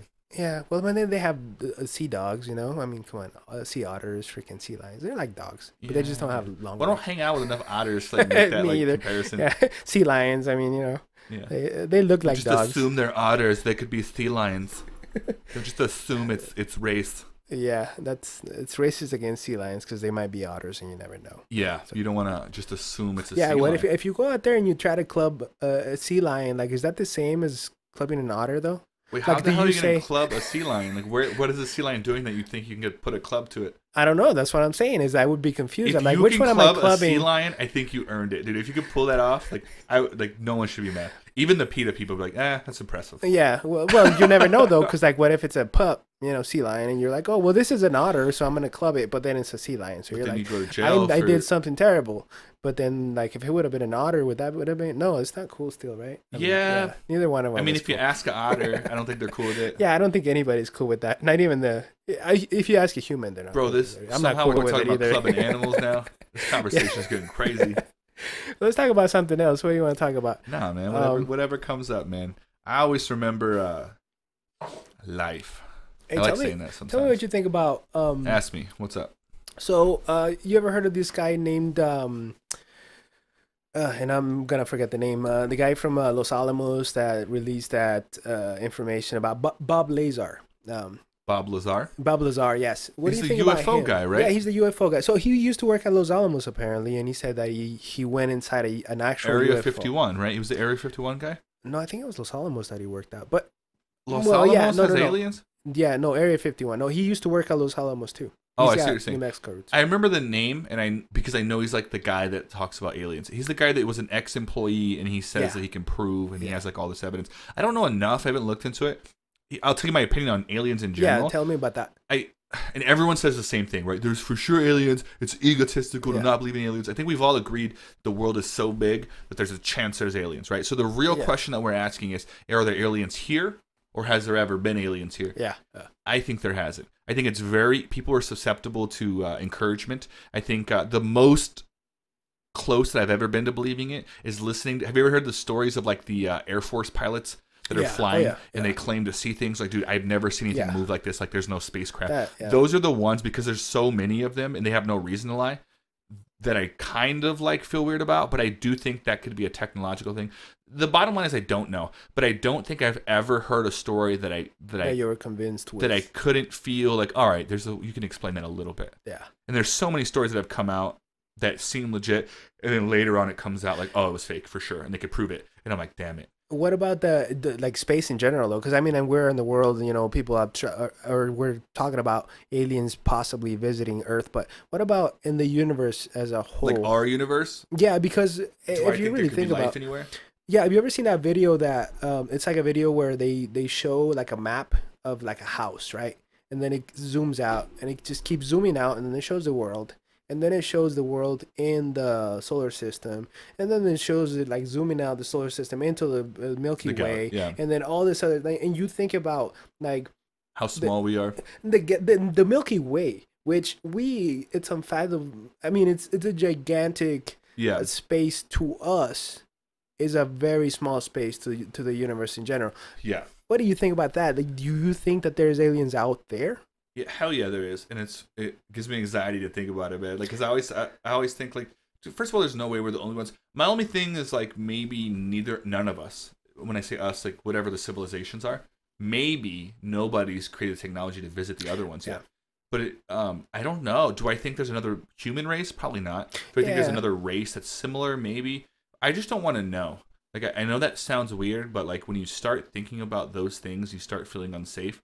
Um, and I like the safety of knowing what I know. Um, so I don't like the idea of it, but yeah, for sure, like there's something out there, man. And I don't know. Yeah. Like, I just hope that we find them before they find us, man. But then I watch too many movies, and I always I think we, we associate it with like uh, powers and abilities and cool stuff, and it's like Yeah. like when you think of Superman who's an alien and stuff like that. In that sense, like hell yeah, bring them on, man. Especially if you wanna if you wanna recruit me for your superpower team, I'm definitely on that. Did you ever watch that movie District Nine? What is it called? District Nine, Yes, where he starts turning into like a roach or something, right? Or whatever like those a creatures shrimp. are. Yeah. Is it a shrimp? No, well, they call him prawns and in Yeah, British. it- he, something, and then now he can like he starts speaking their language, right? Yeah, I did see that. I thought that was he, pretty has, weird. he, he starts with that arm, and then he's able to shoot the guns. yes, cool because they couldn't use the weapons, right? But that's a cool concept because like they came here and then we imprisoned them. Yeah, like we yeah. always assume the people coming are going to be way more advanced Yeah, than we are, exactly. and we'll just take and them they over. were they they were, but they were just uh like uh, I actually don't remember how it ended. Well, it, it, it actually they set it up for a for a um a sequel, but I don't District think. Ten. Yeah, we it's gonna be still District 10. need aid from the government. What if District Yeah. Ten is about like a, a family of those people that like like need like like food stamps and stuff, and they're like, we need more help. Yeah, or the world is like overloaded with too many people and too many aliens, and everybody's trying to survive. Like even the poor That's- humans are like, get it together, like Yeah, to that race. You guys are idiots. you need to get jobs. or they're like, oh, you know, humans, you you humans need to get it together. You guys are always fighting wars. We we're a peaceful civilization, and then they enslave us. You know what I'm saying? Because they're I mean, that's always an option. I don't want to be enslaved. I Yeah, I definitely, I'm not about that life. I'm not about that enslavement. Have you ever seen The Abyss? Yeah, a, a long time ago. That's the one where he goes down, It's like, an old movie. and then he takes off his his um his bubble thing. Uh, like Didn't we talk below, about this right? recently? I talked about it with someone. No, it's literally, and I didn't even, as I was telling it last time, I didn't remember the whole story, but it's essentially like these people go down in the submarine and they realize that because we're breathing in water when we're in the womb, like we don't have our first breath till we come out of the womb and we breathe air. Yeah. They go, we as human beings know how to breathe underwater. We just forget how to do it as children. This is a concept in the movie. So they actually learn how Yeah. to like Oh, submerge each other like themselves in their water and like something happens and they Yeah. focus or whatever the and they end up breathing no for sure don't do it don't drown yourself. That's not the way it works, man. but in the movie That's they not end, the way you get oxygen. so i think that's how they end up getting to the you know no one's ever been at the bottom of the ocean Yeah. that they end up getting there because they go down and then they learn how to breathe under the water and then they have this pressurized helmet full of water that way it doesn't crush their heads Yeah. and they learn how to breathe and they can go even deeper and then they find a ship i think essentially i don't remember if they found a ship or it was their own ship that went too deep um, but it turns out at the bottom of the ocean is aliens but the aliens are the water like the water itself is the alien like there is no creature down there so the alien ends up coming into the ship and like a little flubber looking like thing Yeah. and it ends up like talking to them through like telepathic stuff. It's crazy, and end up showing them they can tap into like the rate the television frequencies on Earth.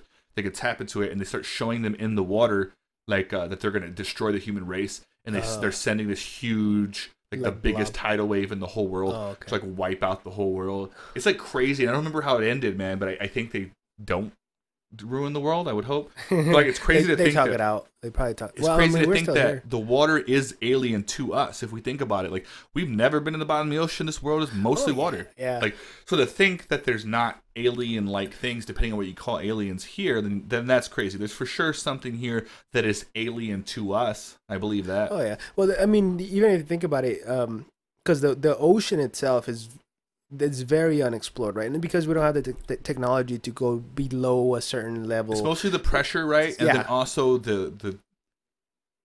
It's mostly the pressure, right? Because they've sent machines down there yeah, that like have gotten lost, right? So the the and then there's uh, no light at one point, right? That's how they found those weird fish Yeah. with the lights. On But you head. can you can take a light down there, but it, it doesn't have very much of a reach, right? Because Yeah. it's, uh, the the water gets cloudy and you know it's very very dark down there. But really, the biggest thing is is just the pressure. So the the lower you go, the more pressure it exerts on on anything. So uh, if you go down all the way to the bottom, the pressure must be enormous, right? Like you have to make a ship. like the most pressure in the that we've ever seen, right? yeah, I I think they have sent scientifically. I think they have sent uh, like machines down there that don't get crushed, but us as humans have never explored it. Plus, think about the size of the ocean. Uh, It, I think, I mean, don't quote me on this, but I think the ocean is larger itself than the amount of land that we have, right? So, Hundred it- percent. uh, Yeah. yeah, I, I believe it is. So, think about the amount of land. Think about right now, for example, in the Amazon, there are still uncontacted tribes.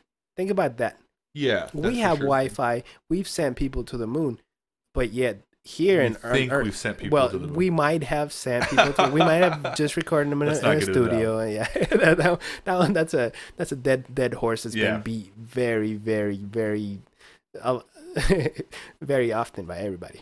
So um. But yeah, think about it. They're still uncontacted. Every time I hear about those stories, though, I think about like, are they un uncontacted? Is it uncontacted? Is that the right word? No, I think you're using the right word. uncontacted. Okay, uncontacted. It sounds weird to me. Like.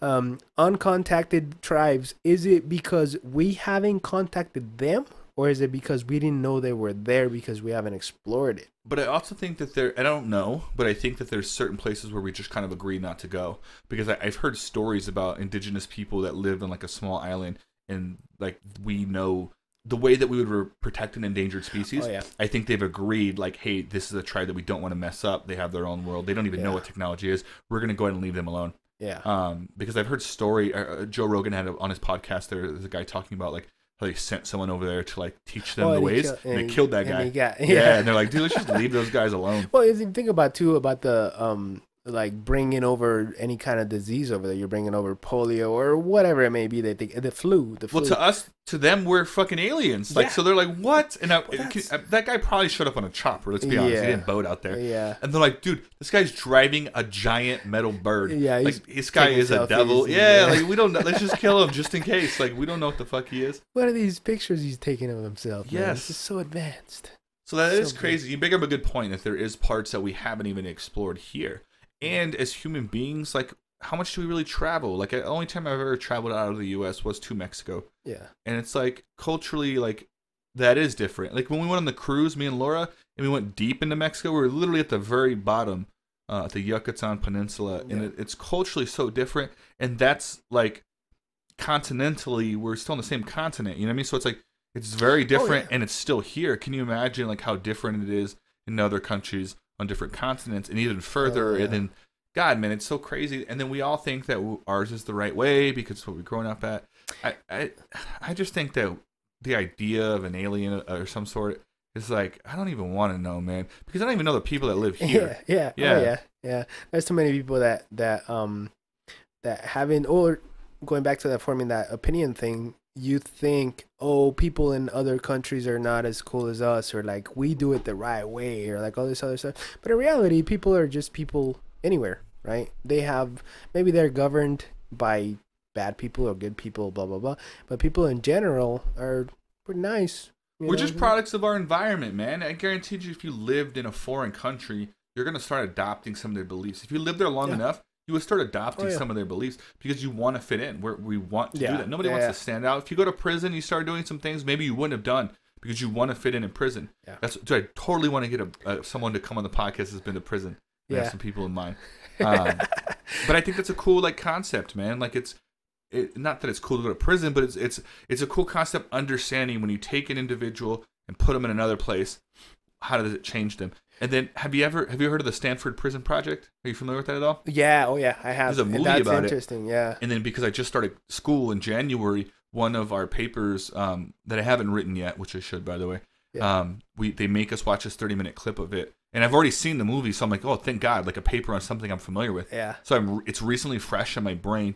But essentially, the Stanford Prison Project, for anyone that's unfamiliar with it, is I think it was back in the 90s, maybe even the late 80s. Yeah. They decided to do a controlled study where they hired these Stanford students to play roles. Yeah. And the ad said, "We want you for two weeks, and we're gonna we want you to either be a uh, an officer or an or, or an inmate." prisoner. And the agreement was when they would come in and like audition, the agreement was you sign up for two weeks, you get paid as, as if you're working a job for two weeks.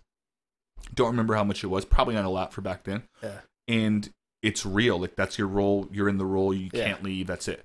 Uh, and then you'll randomly get assigned COs and and um, inmates. And I think they did personality like uh, cert, like uh, studies to see yeah. who they thought would be better COs. And essentially, it went fucking crazy, dude. If Yeah. you ever have some spare time, watch the movie or the Oh, yeah. documentary on it. Essentially, what they did is, is um, on both sides, these inmates started like they felt real. Like at one point, they're like, dude, is this even an experiment anymore? like an abuse. they treated them like shit. They started abusing them. They make them do push-ups. Torture, they would take away their food. Things you would experience in a real prison if you're messing up. The weird thing is the COs, who are also actors, got way too deep into their characters. like Uh, one of them, they would call him. Um, he had a name. It was like an outlaw name, like Dirty Harry or something. I don't remember what they would call him, but they started. They nickname him this because he would just come up with punishments. They didn't even ask him to do this. Yeah, he he got just- so into character that he's like, like if someone like uh, wanted to leave or something, like or someone was in the hole, like, well, all you guys are gonna get to vote. You're gonna let him stay with you guys, or you can give up your blankets, like they all had blankets, Oh yeah. and we'll make him leave. Otherwise, we're going to keep punishing while he's here. So they made them pick: Do you want to get punished by losing your blankets? Do you want to get punished by kicking him out? And then I yell at you. Yeah. It goes crazy. So they got in their heads. People end up quitting. They didn't even make it a week. I think on day seven, like the wife Oh, yeah, of the were. main guy that was running the project came in to bring him lunch, and she saw him watching film, uh, live film, like the live feed of what was going on. And the husband was like, "Check this out!" And they had bags over their head, and like, Oh, "You yeah. pussy! Like, you, "You guys are all bitches." And the wife was like, "Oh my god, you're doing these to the students." Yeah, this is. They didn't even make it a week. They end up shutting it down, but they learned so much from it, man, that it's crazy. The whole concept or the, the main thing that you need to learn is that you, when you take people, when you don't have a code of ethics, a main Yeah, thing that we live by, right? Like human beings are human beings. We all have the right to a trial. We have the right to life. We have the right to pursue of happiness. All those things Yeah. that we have, right? If you don't have any of those things, like it's it's It chaos, into man chaos, and yeah, you're a product of your environment. quickly. If you put someone in prison that is innocent, maybe, or maybe did a crime, but it wasn't as serious as some of the other criminals, you conform and you start doing the things of the people that are around you, and you act differently, and you're a product of that environment. You can't be the person you were out here. So when people get out of prison and they like people always like you're changed, man. Of course they've changed. They've been through some stuff. I almost directly relate symbolically someone that got out of prison and someone who just came back from the military. Oh, it's yeah. very similar. Yeah. They both talk about how they're away from everyone. They miss their families. We, I was treated differently. I don't Yeah. feel safe. It's very similar. Yeah, It's like it's weird. Yeah. It's like uh, uh, I think that's crazy. Yeah, and and support the troops, man. I, we love we love our our our um, troops and our our people that are in the troops or have been in the troops. Frank Casey's uh, one of them. Um, and I also have a cousin that's in the Air Force as well. So, um, I've always wondered, uh, going back to the prison um, uh, topic, I'm gonna I'm- refill my water while you're doing Yeah, that. go for it. I've always wondered how many of the things that we see about prison are true, right? Because a, a lot of people seem to think that prison is is is a movie, you know, and there's these like factions and people are against each other and you got to form a clique and you got to be part of this clique and then you got once you join that clique then you're there for the rest of your life like how much of that really is true how much of it really really uh Well, that for sure with the- happens. What part? What, what do you mean? What is true? Like what well, part? because uh, the reason I asked that, or the the reason I wonder that, is because there's a lot of people who come out who don't join a crew, who don't join a clique, who who go in there, do their time, and come out. They call them tweeners. This is why, like, like it's if you don't, it happens, right? It's Oh, not yeah, smart. it happens it's not sure. smart because you're very vulnerable. If you are someone respectful or you're in lockdown, and again, I hate talking about this because I've never been to prison. Yeah. You get a little bit more respect. So it's you're right, but statistically, percentage wise. Almost everyone joined some sort of clique. Everyone that I know that was in prison, prison, You have joined to. a clique. Maybe if you go to jail, because I've been to jail. Oh yeah, jail, and I like mean, they'll respect it because you're gonna maybe you're there for either a couple days, couple Yeah. weeks. I think in order to be in a prison, it has to be over a year. I think anything like if it's like one to, to eleven months, you you're only in jail. So it's but like and people know that they're there, and so if you luck out, like people respect that and you're fine.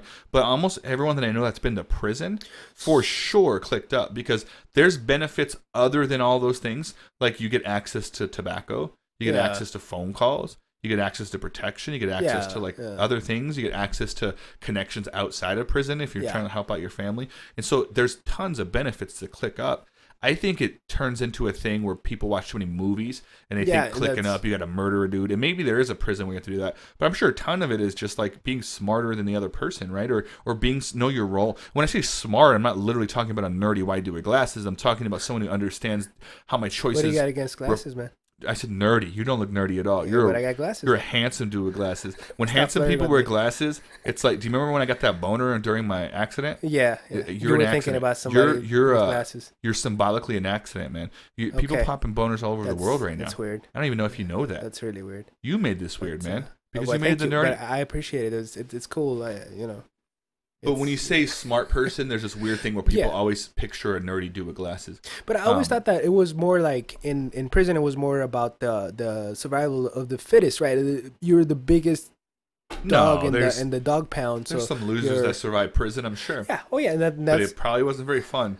it goes back to that whole thing about like We got to get some prisoners in here. or at least a prisoner. Let's, Let's not, go commit a crime and then we'll come back. We'll, no, we'll come back to let's this. definitely not commit any crime. But let's. Uh, I, I think I, that I think that would be a, a great insight to get someone that's been to prison and can talk on it because Yeah. I can see why. Like when people that I that I know talk about clicking up, like it Yeah. makes hundred percent sense to me. Oh yeah, yeah. But I always wonder if it's more about uh, like clicking up a, about uh, like a race thing or like uh, like a power thing or like well, usually like a both. Fr- protection. From what I know from the people that I heard uh, from, if uh, for instance, this one person I know was told, who's a white person, was told uh, you have the option because you're white, you can, you can click up with the white people, the Aryan Brotherhood, or or there's also a group of like Las Cruces people. yeah. And so, So like that's the with them. only you either click up with your Las Cruces friends or the white people, but you can only pick one. Yeah. And naturally, if you're like have friends that are not white, you want to click up with your Las Cruces people because maybe you know some of them.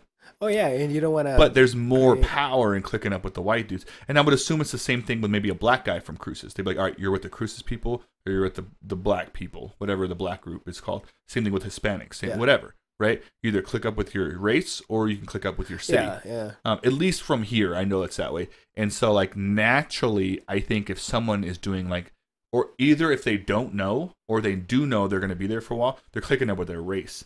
Uh, but if they know they're not going to be there too long or there's a chance to get out, They- they, click up with their city Oh, yeah. because these are like, I'm going to go back to that city when I get out and I need yeah. these I'm gonna be connections. there with all these people. Yeah. So I think that's how For it sure. works. But we should for sure get some yeah. some yeah. prisoners in here, man. Yeah, just a question I had, or just a something I always wonder about. It's it's interesting to think about. I have a question for you. I was thinking this the other day. Laura always gives me shit, man, because I watch these videos about murderers, like or about crime, and she's always like she got like I would watch them all the time. I still do. And Yeah. so, dude, if someone went through my YouTube like history, they'd be like, "Damn, like Will's like Like, yeah, he's well, gonna try to kill someone. Like he's been researching That's killers." I do. I watch them so much and I find them super intriguing. And then I would watch them so much. I play them and I play video games and I'll play them like on my phone and I'll listen to them because I'm auditory and so I can kind of keep up with what's going on in the thing. I love them. Like I love them. Yeah, it's Not, I don't like murder, but like I like hearing people's stories. Like the Aaron Hernandez one that, that came Oh out on yeah, Netflix. that was a trip. I haven't seen it, Yeah. but I'm gonna see it. Oh, you the should. Menendez brothers, I saw that one. I like the confession tapes of the the Yeah. dude uh, Ted Bundy. Ted Bundy. Yeah. Yeah, all of them. man. All the BTK killer. Like I follow all of them. Yeah. Even uh um Zodiac, the movie and the, Yeah, documentary. the Zodiac is very. they never caught that guy, dude. Yeah, they had. I think he have it. died. It's supposed to be Ted Cruz, right, or his dad? Ted Cruz is the Zodiac Ted killer. Cruz. You heard it live here Yeah. on Talk It Up Ted Cruz is the Zodiac killer. No, Yeah. but I, I love watching those shows. And then Laura at one point is like, "Hey, I'm kind of worried about you." Like, and I'm like, "What? You think I'm gonna kill someone?" She's like, "No, I'm just like worried about how it affects your head because she knows that I already struggle with death, like as an anxiety." Yeah. Um, but w- that was kind of the backstory on it. With that being said, I'll ask you a question and you can answer it however yeah. you want. Go for it, man. I hope you never kill me. Okay. I hope you never kill anyone. Uh, But if you had to kill someone, if if you knew, if someone a guy came down and he's like, I could tell the future, you you have to kill someone. It's the Yeah. only way you get into heaven or wherever. I know it's a weird thing. Wherever you're gonna go, wherever the afterlife is, you like you just have to do it. Well, how do you how do you think you would do it? how would you do it? How would you do it? Not who would you kill, but how would Not who, because I think that would, could get weird. We could maybe explore that afterwards. Yeah. Well, I mean, if you think about like who who would you kill historically, you would want to kill people who are bad, right? Like like Hitler. Everybody wants to ki- kill. So Hitler, let's say it's, let's don't pick a person because I don't want it. I don't want it to be weird. How, what would, what would be your way? It could be anything. Let's say it's a dude at uh, at Kmart who's a bad guy. He's you know he's been molesting kids or something. Kmart. so you're gonna kill this Kmart. Kmart closed. That's why they closed it. Yeah, Yeah, 'cause of this that's why it's because of that guy. Yeah. Perfect store to pick. Then. Yeah. So you had to kill this Kmart employee. How would you do it? Uh, well, I mean, um, not uh, as much as uh, we all like to be uh like vicarious and and think that you know like watching the the movie the the, the murderer movies right you know Mhm. you want to understand and you kind of want to live vicariously through them but you know you wouldn't do it do it yourself because it's it's just No, not but you have to in your this scenario. Literally, I want you to walk me through this. well yeah I'm, I'm getting there so um you're all trust me. yeah so I, I, know wouldn't- how to kill some people. I wouldn't I wouldn't personally um, choose to torture a person, right? If I was gonna do it, I would do it very quickly, like Okay. with a gun or uh, you know something very quick and easy, right? If I had to, had to, just So because Do you think you would go gun then? Yeah, probably. I mean, with, it, it's with the, easy. with the Kmart person. You think? Do you think that you could shoot someone like to kill them, like in the head? Are you I mean, capable of that? I, maybe I don't know. I think we're all capable of it. Of it but I think we, are all capable we if we're properly motivated. Like if it's a family member, we might do things. Let's roll out the out of emotional, right? Because Yeah. most killings are like, Yeah. Oh, "He oh, yeah, upset me and I just shot him." yeah, Like let's roll it out. You have like you have to think this through because you just know you have to kill yeah. So you person. gotta premeditate it. Yeah, so it's not emotional. It's like you need to if you're gonna shoot someone, you know you Yeah. got to pick the gun out. You got to like be you have to deal Yeah, with it a oh, little yeah, bit. yeah. Do you think you could shoot someone? If I was, if uh, it, all depends. I mean, this is a cop out, right? It all depends on the, what the person did and He was what. a child molester from Kmart. But who am I to be the judge and But executioner? for right? whatever weird reason in the scenario, you have to be. Well, then I would. you would- you I you mean, you could have to. If, if I have to in this situation, then yeah, I would. I would prepare my gun, Do you you clean it out real someone? good, stab someone. Eh, that's a little bit more visceral. I think it's a more hit or miss. So think you could light someone on fire? no, Nah, that's terrible. Damn, that'd be a tough one, huh? Yeah, that'd be a tough. Here's one. my thought. it, just 'cause because it's not instant. I was thinking the other day, so I, I ruled out knife right off the bat. That was the first one I ruled out because I don't think I could do that, man. I like people. I, I have like like in general, even bad ones. Oh, yeah. Well, that's that's where I am at. It's I so mean, like I for sure could never stab someone, and I'd like to think I could, right? If it came down to it, if someone was hurting my family and all I had was a Yeah, knife. of course, but if. I really am being honest, I cannot being honest. I cannot picture myself stabbing someone. So stabbing is ruled out. Yeah. Even it's a like a sword. I feel like I could. Not that that's like an option. I don't even think I could sword somebody. even if it was like a guillotine, like Conan like sword. Like, no, I don't even think I could do it. a ballista. So that's out. I don't think I could stab anyone. Um, and then I thought about shooting someone. And my first thought is kind of what you said. That's like a good way, excuse me, to kill someone. You could just shoot them and it's over with. I don't know if I can do that either. So, so I put that as a maybe. I thought maybe I could shoot someone, and I'm talking intentional, right? Obviously, spur of the moment, anything Yeah. can happen. I don't think I can intentionally shoot, someone. I don't think I'm capable of it, right? And I'm just No. being honest. And I hate saying this where the whole world can hear because, like, dude, I'm gonna rob that guy. There's, he's not even gonna shoot me. Like I know he just. Yeah. it. So please don't rob me. But But see, in spur of the moment, you would do it though. That's maybe, that's your, maybe. yeah, but I for your- sure like so. I, we'll put gun as a maybe, knife as a no. But then I got to the next one, and I'm like, ding, ding, ding. I think I could poison someone. And I- Poison? yes, I think I could poison poison, someone. And then, so my first thought was like, where do you even buy poison? Because it's not like a, a packet, like a, uh, a skull and bones, like this says poison on it. Like you, so I started thinking like, well, how would I poison? And from watching those videos, I know that you can kill someone with antifreeze or Drano Oh yeah. like by pouring in there. Um, there's like different things that you can do. I don't think that I would ever. First of all, I don't think I would kill anyone. But if I had to, right, in that situation, and it had to be premeditated, meaning I had to think about it, I I settled on the only way because I thought about fire. Like I could set someone on fire in yeah, their home. that's, that's Can't do that. I don't even know how to like start a fire in my backyard for fun. Like, I don't think I could light. So no knowing me, I like light a fire and the wind would blow it out. And I'm like, damn it! And they would like call the cops and I get arrested for arson. There's, there's lighters for that, Will. and I'd be in prison like a bitch trying to click up. They're like, "What'd you in here for? Murder? What about you, Will? I tried to start a fire, but the wind blew it out, and they caught me, and I'm in here for arson." No, so I ruled that one out. Um, what else? I, without drowning, I don't think I could physically drown someone. No, that's that's. I that's could. I did think I could tie like a, a weight to someone's foot and throw them off in the ocean. I could probably do that. But then I thought like because of the pressure thing, the weight would eventually just fall off and the body would float up and you'd get busted, right? Because if Well, that was a thing, more people would do it. No, but, I mean you could use something that's very, very uh, sturdy, like a chain, right? I mean you could chain somebody's legs to something heavy, and that would not break. No way. What about? It'd have to be like a if it's anchor? a rope? If it's a flimsy rope, if it's like a ten-year-old rope that was out in the sun, It's like a yeah. really nice chain and like a like a block of cement. You think it would be good? Oh yeah, yeah. All eh, right, And- so- and so plus, maybe that think one. about it. If you if you don't wrap it around their their like feet, but you wrap it around their their torso, there's nowhere it could go. Right? Wrap it around the torso like an X. Yeah, about that because the feet could eventually, Yeah, it could slip off. Right? or it could rip off. If I'm being cynical, if it goes down pretty deep, you have to think the pressure catches up. Yeah, well, There's I a mean, chance it could rip, right? If, if- there's air in the lungs, I can't believe we're breaking this down right now, dude. But I feel like Well, that. So you're right. It would ha- you would have to wrap around their wrap waist, around the torso. Yeah, and it's and it's very. So maybe I mean, it's a visceral thing. I think I settled on poison. If I had to kill someone, I think I might try to poison them. But think about it that the society that we live on is so fragile and, and human life in general is so fragile and i get to see it at work there's just so many small little things that could kill you, right? And you, we talked about this earlier. You know, people have died for way less than falling off a motorcycle, right?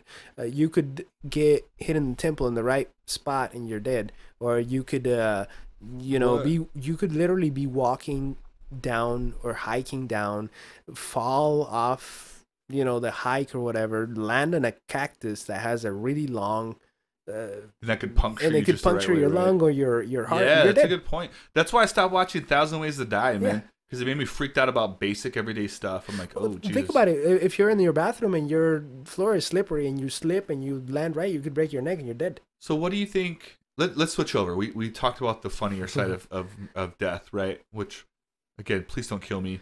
Now that I know that you're willing to me. shoot somebody, at least if I kill you, poison you, or throw you now off I, I taught you how to actually drown somebody. So don't do it. You know. Now that I know, Yeah, you're right. With great power comes great responsibility. Anytime you're around, A really chains, smart you know, guy just- said that. just- His name's Uncle Ben from Spider-Man, Spider-Man One. Um, I don't no, you're moving over into the more serious stuff because I'm I'm glad that this is one of the reasons that I want to talk to you about because you you're a nurse, right? Yes. Um, and so what do you think? Talk going off kind of what you said. What do you think? And we'll be serious about this. What is the first of all? Have you seen people die in there? I have. Yes. If you had to put a number, just uh, how much would you say? Since you've been Of working, other people that I've seen die Yeah. in my in my career, it's not a super high number. It's about ten, maybe fifteen. that's high compared to most. Well, compared to most people, yes, but in the environment Like I'm not a nurse, and I think I've seen like literally seen killed or died or bodies like maybe six. Yeah. I think. So and I, mean, think mine's seen- high. So yours is pretty high. So it's fair to say that you're you've been around death enough to talk about it a little Yes. bit, right? What do you think is the strangest one? And obviously, don't give out this person's details.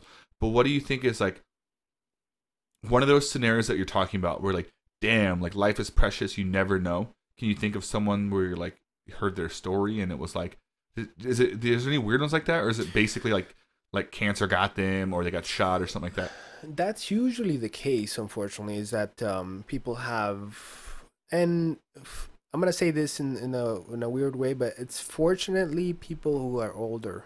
No, I'm not saying Really? I'm not saying fortunately. No, I, because I actually get what you're saying there. but yeah. it's because at least that person has gotten to live their life. You know, no matter how they live their life, uh, if they have gotten to live their life, I, I haven't. Uh, I originally when I started uh, being a nurse, I wanted to go into the NICU, right, uh, uh, neonatal intensive care unit, uh, and I realized, Is that children? yeah, well, babies, Okay. yeah, uh, PICU newborns. is um, um, pediatric or you know, What counts as pediatric? Like how old is I don't know. I think it's like six months or six months and younger? Yes, Okay. I'm not really sure. That's not my field, but um, But that's what you wanted to go into. I wanted to go into that because I thought that it would be uh, something that was um, very helpful, right? Because you're, I mean, unfortunately, when you're helping somebody that's that is older, there is a lot of issues that you can't fix, right? There, I mean, age you can't fix. You can't fix Yeah. age.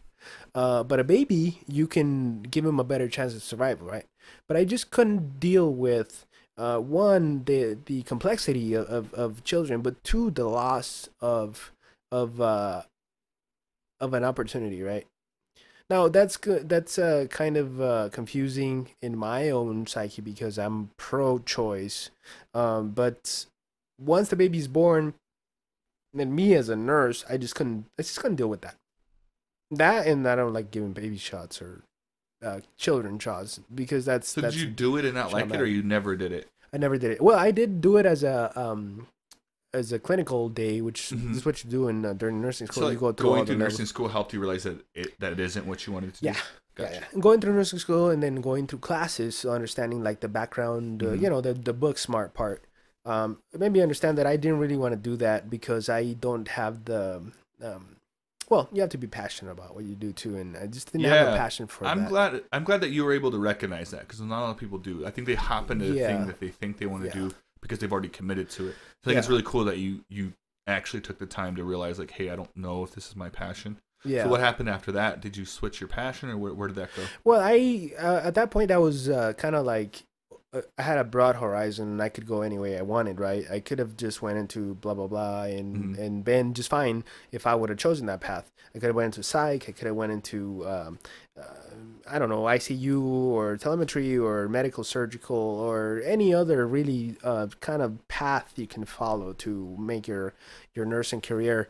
Um, but I always wanted to be in ICU, even though it scared the crap out of me. And and the reason it scared the crap crap out of me is because I didn't understand that it is a learned, um, it is learned, uh, like path. Are you in the ICU now? I am in the ICU. I started Okay. in the ICU. So, but this is what I always thought, and this is what I think most people think when they graduate nursing school. They think, "Oh my God, the ICU is for the smartest people." Right, the people who get the best grades in college, the people who are doing the best, right? But in reality, when you're in the ICU, is the book smart is only part of it. Uh, you have to have something else the passion for it the understanding of what's going on within the human body uh, the the the risks that you are that you are creating or that you're uh, preventing by titrating a, a sedative or uh, uh, providing a patient a, a vasopressor that's that's gonna bring up their blood pressure at the expense of something else like you know uh, clamping off areas of the body that, that are too small to Mhm. handle a vasopressor. Right? So y- there's a lot of things that you have to understand that are learned. Um, so at the beginning when I started in ICU, I thought, oh my God, this is the scariest thing ever because I always thought like, again, the people that go into ICU are the smartest people, right? And I didn't see myself as that. I thought, oh, I'm just average. I, I feel like a lot of people fall into that, right? In that category. When you're doing something, anything, you don't see yourself as great. You only get the recognition from people. When you get the recognition, then you're like, oh, but and then sometimes when people give it to you, you still don't believe it, huh? Yeah, exactly. So that so that's where I where I'd fallen on that. Um, you asked me about what was the the the, the weirdest kind of most um strange. Yeah, can you think of can you think of something to I guess like is there either a story and obviously again you can give as much details as you want, but is there something the reason why I care about this is because I I have a, death anxiety almost. But when I hear stories about stuff, it actually makes me feel safer, which going back and I won't carry too off because I want to hear your answer. Going back to those stories about like the murderers and stuff, it brings me comfort to know that I now have the information about how to avoid a situation like that. Yeah, And so, in a weird way, because I struggle with all the people that have died in my life, yeah, hearing different stories brings me comfort to know that I now gain some new knowledge from it. Um, so I guess that's why I'm asking, and if there isn't one, that's fine. But can you think of something like this Well- person came in for this, this, and this, this, this, and this happened. This is how it ended up. yeah. So I have one that's that's uh, it was my my personal first one. Um, in the ICU. that I experienced. Well, maybe I had experienced some before, but none of them were uh, directly involving me. Right? Uh, had a patient that that was having really bad. Um, uh, they had a, a- a mass in their in their stomach, um, and it was very quick. Uh, the patient came in, you know. Uh, 30 minutes later, the patient was was coding. We had to code him, and unfortunately, the patient uh, was um, what we call a full code. So we had to go through the whole motion even though this patient was very very weak i don't like i don't like to to um it's it's unfortunate that a lot of people don't understand the severity of a patient's like illness that they will push to the bitter end to to maintain a possibility of that person getting better unfortunately there is some people who are not going to get better it's just the truth right because we are as uh, healthcare um, professionals, we don't have magic wands. We can't fix everything. Well, we can control a few things. The few Yeah. things that we can control, we definitely try to control as best as we can. But there are some things that are out of control, and they just can't be fixed, and people will pass, right? I mean, that's unfortunately the nature of it. So this patient came in. He was very, very, very sick. Uh, the best we can do it at that point because we didn't understand what that what was going on at that point. There's no way to know this patient's been there for 30 minutes, right? There's no way to know like how to treat Is this. this an older person? Oh yeah. How old So, would you say he was? Uh, about 60s, mid 60s, right? Okay. So not extremely old, but not very young. So uh, this person came in. They came in very, very uh, pain. They were in extreme pain.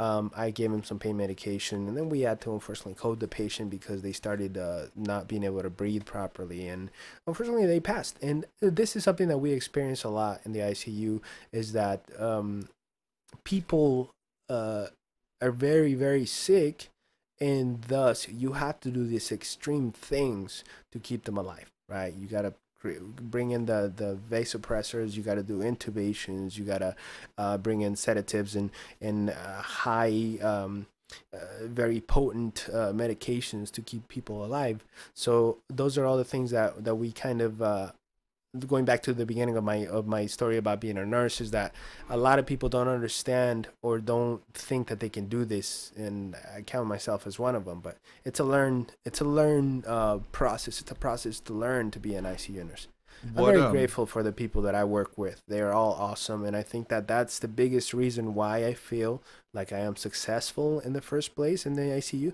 It's because we have a really good team that supports each other. So when you, when that person you said was one of the first people, right? One of the first people that I've experienced in my direct area. So what did what how did it make you feel when that person passed away, and then what did your coworkers do to help you through it?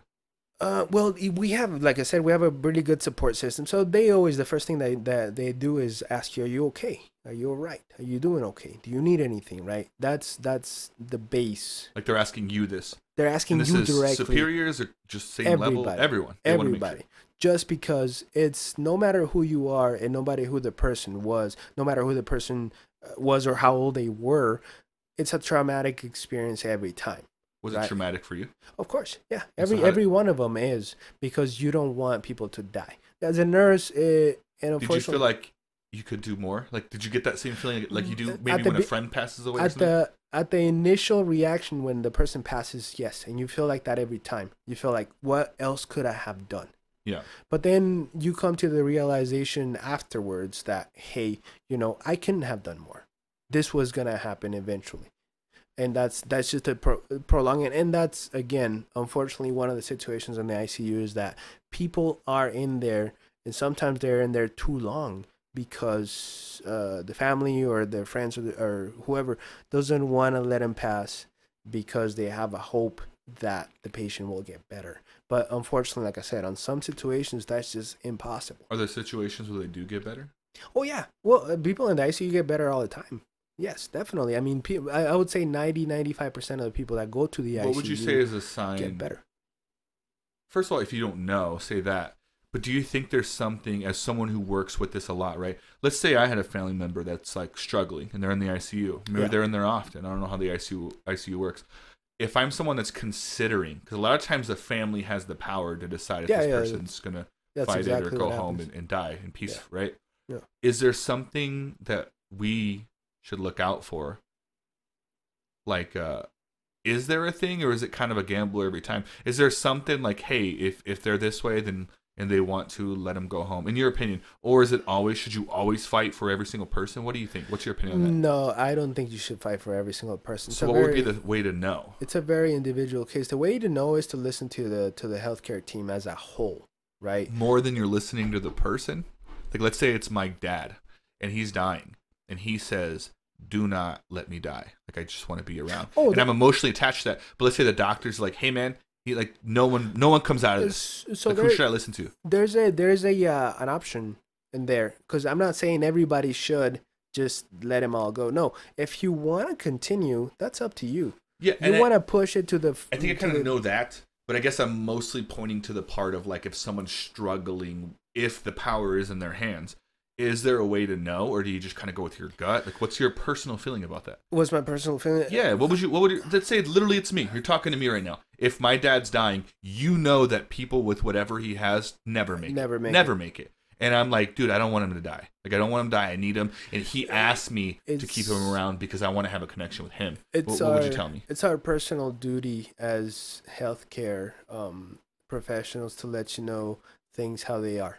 Mm-hmm. exactly how they are like no matter emotional, how, no like matter you just how say, these blunt. are the facts. What do you well, do? emotion plays a part in it afterwards, right? You know, I know you're do you're you're going through whatever you're going right now. This is you know gonna be very hard, and I understand you hundred percent. But I want to tell you really the truth because I'm not here to give you any lies or or to make to make it seem something that it isn't, right? That's our duty. I have to tell you that. But let's say you weren't my nurse. You were literally just my friend, but you have your same mind. Yeah. What would your advice be to me as a friend? As a friend, if you As a friend, literally, like- my dad's dying, and you know the things you know, but I you would want say you want to talk to me about it. What this would you is tell the me? this is based on the the information. This is the best course of action, right? You know, he's gonna need this. He's gonna need that, and I'm talking about like uh, specifically about uh, end of life care when you're talking about um giving the patient uh like morphine and Ativan, pain control, Do you- anxiety control, stress control. Do you feel Those are the comfortable telling the people that you love, whether it's your friends, family, or whoever? Do you feel comfortable telling them the hard truth, or do you think that you're the type of person Yes. that tells them what they want to hear? No, I tell them the hard truth. Yeah. It's it's it's harder for you to tell somebody the the like try to comfort them because if it's not true then it brings it creates a situation where you feel like you're you're lying to them and that it, it, weighs on you emotionally. I don't like to feel that way because Mhm. it's not it's not um beneficial to me, it's not beneficial to anybody else. It is what it is and it's required like I said, it's necessary for me to for me to go in there and tell them, "Hey, you know, this is the situation." So I I'll put you I'll put in perspective. If it was a family member that was my family member, I would still say it the same way because I want that person to uh, to uh, have most comfort. Comfort to me is the most important at that in that situation For the person that's in the Yes. ICU. for the person itself because Because a lot of times the family doesn't have a choice, right? Like if a person's of sound mind, they're making their own medical choices, Yeah. right? If they're But in there. har- hardly ever if they're already getting that close to to passing then then they don't have a uh, uh like an option to to um they, they don't have the ability to to say it themselves like if they're intubated for example because they have like a respiratory failure or something What does like that mean? that means that they put a tube down the throat So you can breathe. Yeah so they can breathe What is It's that a- called again? it's a it's a intubation, and a ventilator. Gotcha. Yeah. So, um, when you're in that type of situation, you're sedated, you got your pain control and stuff like that. Like obviously, you're not gonna be able to make your own decisions. So that's why you have a power of attorney or you know uh, somebody who's take, taking care of you. Um, in that type of situation, and it's usually that type of situation that most people die. It's that they're already at that point where they just can't maintain their own homeostasis right? They just can't their body just can't stay alive and they're alive uh, artificially with chemicals and, and drugs and machines right? So in that situation i would like to tell a family or I, I if it was my own family member i would say keep them comfortable. Give them pain control. Give them anxiety control. Yeah. because there is a, a point where you get you get to where you're not coming back and that's just the truth Do you do you ever get nervous that you'll get desensitized to death? Like because you've been around it, like so whenever you lose a family member, like maybe it's easier than it should be, and you maybe you won't feel the way you should feel. Do you ever get nervous about that, or has it even crossed your Mm, mind? I, I don't get nervous about it uh, it feels comfortable to understand it better you know what I okay, mean? Like, that's an interesting a- perspective. I didn't think of that. it's comfort for me So you to feel know like I'll understand better because I've been through it so much. The Yes. way maybe well i understand the futility of of, uh, of some things you know i Yeah. can't no, I get what you're saying. and a lot of people don't because they're not in my situation but i understand uh, doing this or doing that is really not gonna prolong uh, their life in a meaningful way right they're Mhm. not really gonna up and walk out of there and you know go for a marathon or anything right Th- th- that's that's just unrealistic so understanding it makes me feel more comfortable because i know I feel like I always get like a. I feel like I have that now. Like I feel like I'm desensitized like to to stuff. It's so bad that like when I lose a friend or a family member, um, I I struggle with like feeling. Like I struggle with feeling about Yeah. it, and then I also feel like, um, I've lost so many people that when I think about one person for a long time, I feel guilty that I'm forgetting about the other ones. Um, like my dad passed away, and I'll I'll get sad about it sometimes. But then I'll remember my, my friend Marco that passed away. yeah And then I'm like, damn it, like I should like he, he was more recent, I should focus on him. Then I'll think about him and then I'll think about like one of my aunts that passed away. Um and so like it, it'll happen to the point where like it, it gives me anxiety, man. But think about it this way, though. Um, it's it's impossible for you to remember every person at all times. Just the same way you you don't remember anything at all times really like there's no way for you to focus on everything at the same time because that creates a, a big giant cloud of worry over Yeah. your head you just have to understand that you you're living your life to the best of your abilities and you are these things that have in the past like hurt you or brought you um, pain um, you are healing because they're not as present anymore right even though they are important in your life you never lose the importance you always have to realize that they're um, they're passe you know things are gonna pass everything I think what you're saying makes perfect sense. And, and I- if I could not feel that way, I, I definitely would. yeah. It's, so- it's easier said than done i mean this is all Yeah, and it's like, well, I like hearing it because it, it brings me peace, right? Because I understand that, but I always I get nervous because right now it's manageable, um, but I, I feel like I never want to get to a place where I lose someone, and I'm like I don't like feel at all. Like Yeah. I'm so scared of that, man. Like that, it's like uh, I have to take time to spend. I have to spend and put time aside for the people that I've lost. So I do take time and think about one person. I try to remember them. Um, I think maybe if I really want to do that, I should do something to like remember them. Um, but I definitely take the time to think about it, and it's helping a little bit. But I have a huge fear that one day I'll lose someone close to me, and I won't be able to cry or do anything, and like I, I fear that. but that's yeah i mean that's that's uh, a natural reaction like to be able to cry for example it's not necessary for you to uh, understand or for you to feel pain right? You don't have to cry for you to actually have pain. Yeah, I but I think crying is important. It's the way if you if you uh think your body and your your your reactions to things sometimes it's it's anatomical like your body like biologically you do certain things right? Yeah. It's, it's kind of like the kid in school, remember when they would go, oh, and then you'd flinch, you're like, you're a bitch. And it's like, dude, that's a human reaction to flinch. Yeah. Can you imagine a, a UFC fighter that didn't react to a punch? and they just get like, punched yeah, they're gonna get knocked out, man. It's it's smart to react, but it's like one of those things where like, and obviously I'm using it as a metaphor. It is, I think it's normal and the right thing to do to cry when you're sad, and to sometimes cry when you're happy. There's times where you laugh, and there's times when you don't. What I'm saying is, I fear that I, because of that, that I may get dense, desensitized, and then like maybe one day someone will pass, and uh, and I'll just like not have anything left. Let I- me I, ask- I, that shit frightens me. let me ask you something a little bit deeper than that Ask me. do you think that your fear is not being able to able to cry in front of people or are you fearing not being able to cry on your own Oh, I don't alone? cry in front of anyone. I have, so some people know. I, Yeah. I and it, I do. Ne- I never actively go. I don't want to cry in front of people. I don't care. Yeah. If I feel like crying in front of people, Yeah, I'm going to cry. cry. But I just never get there. I think as men, we naturally do that a little bit more. Yeah, and I think me push- as a man and on an individual level, I do it even less than regular men. And so there's times where Laura's even told me, like, dude, like, I kind of wish you would cry because then I would know you're sad. It comes out in other ways. It comes out in anger. Sometimes Yeah. it comes Oh, out in frustration. You know what I mean? When someone hurts my feelings, I'm genetically designed to like hurt them back sometimes. Not physically, maybe I crack a joke back or say an insult or something. yeah yeah Um, and so I never get to that point where I feel it.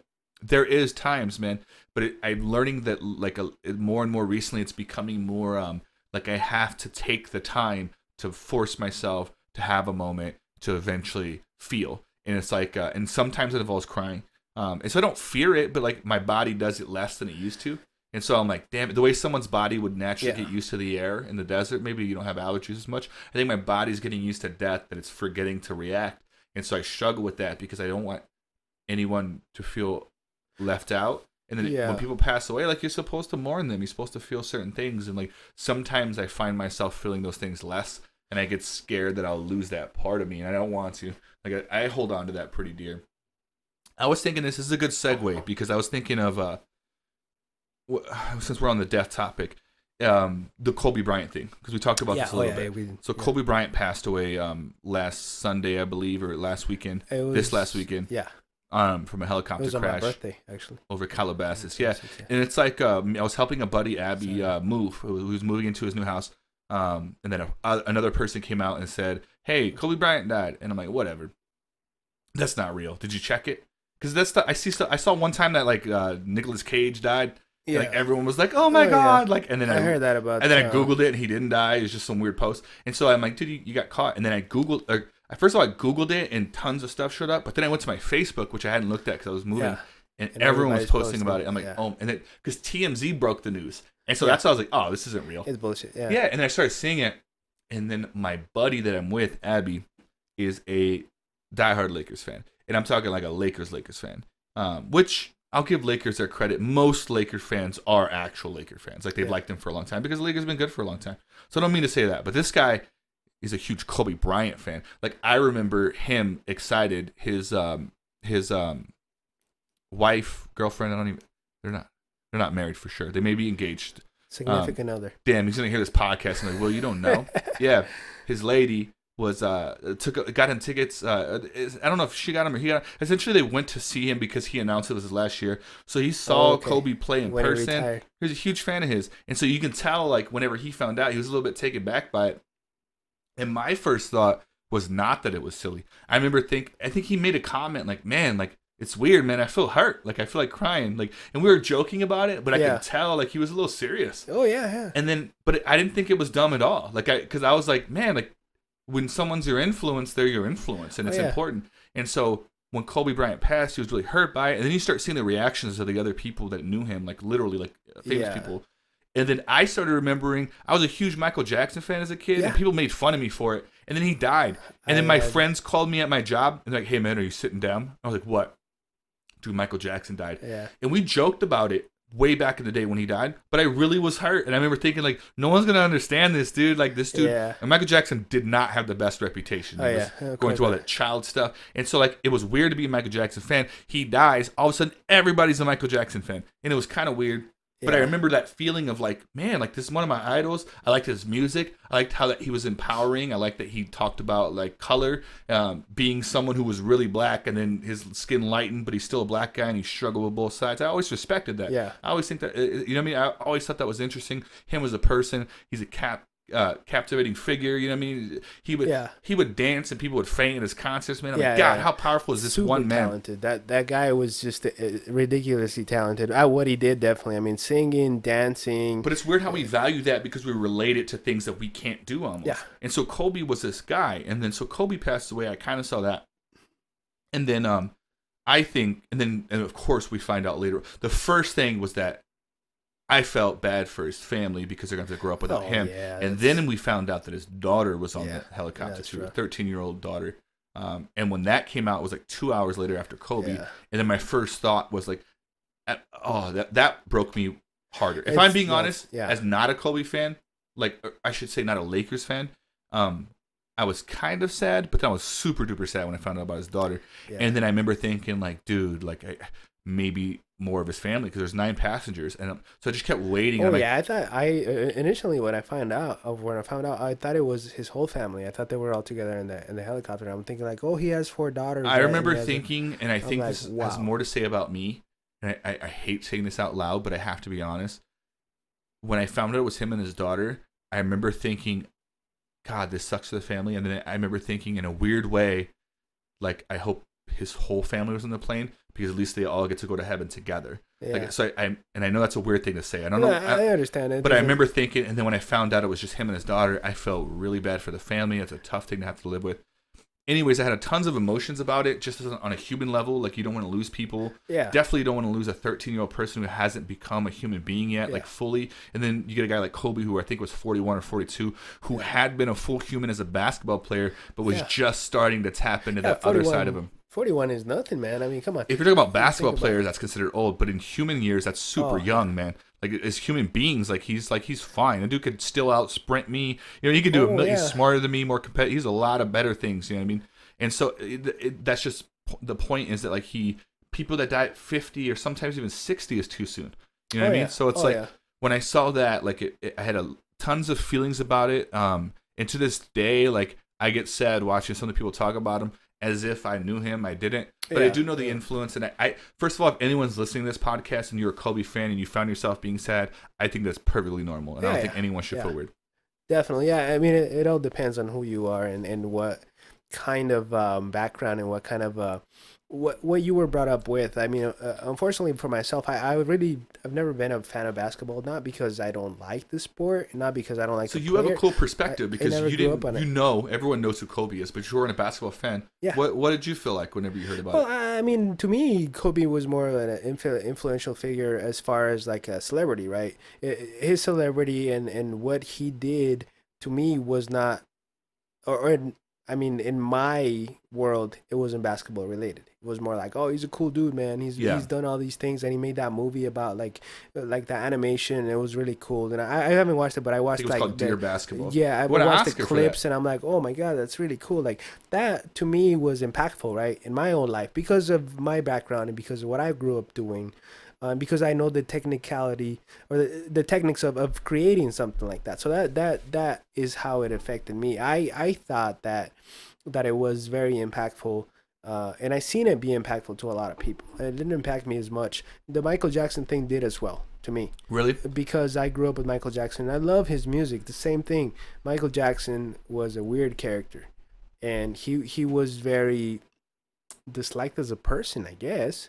But his music is universal, man. Nowadays, even if anybody would have said Michael Jackson is guilty of all these things, you can erase that if you listen to his music. I, I mean, he's gone anyway, right? And you can, you're never gonna interact with him anyway. So you can detach the person itself from the the music. 'Cause Mhm. The music is truly is good. I feel the same way about Kanye West. Kanye West is very interesting to me because as a person, I don't necessarily dislike him, but I don't like him very much. I don't like him at all. He's interesting. He's weird. I like his music, so I guess you're right. We should we should. Well, I like some of his those. music. I, this is how weird it is. I, very very rare. And, and I, you know what I hate is Kanye fans will defend him to the death. Yeah. He'll straight up embarrass his fans. He'll do things. He'll literally say, "I don't give a fuck about my fans." He said things like this. People are like, "Dude, he's just genius." That's what geniuses say.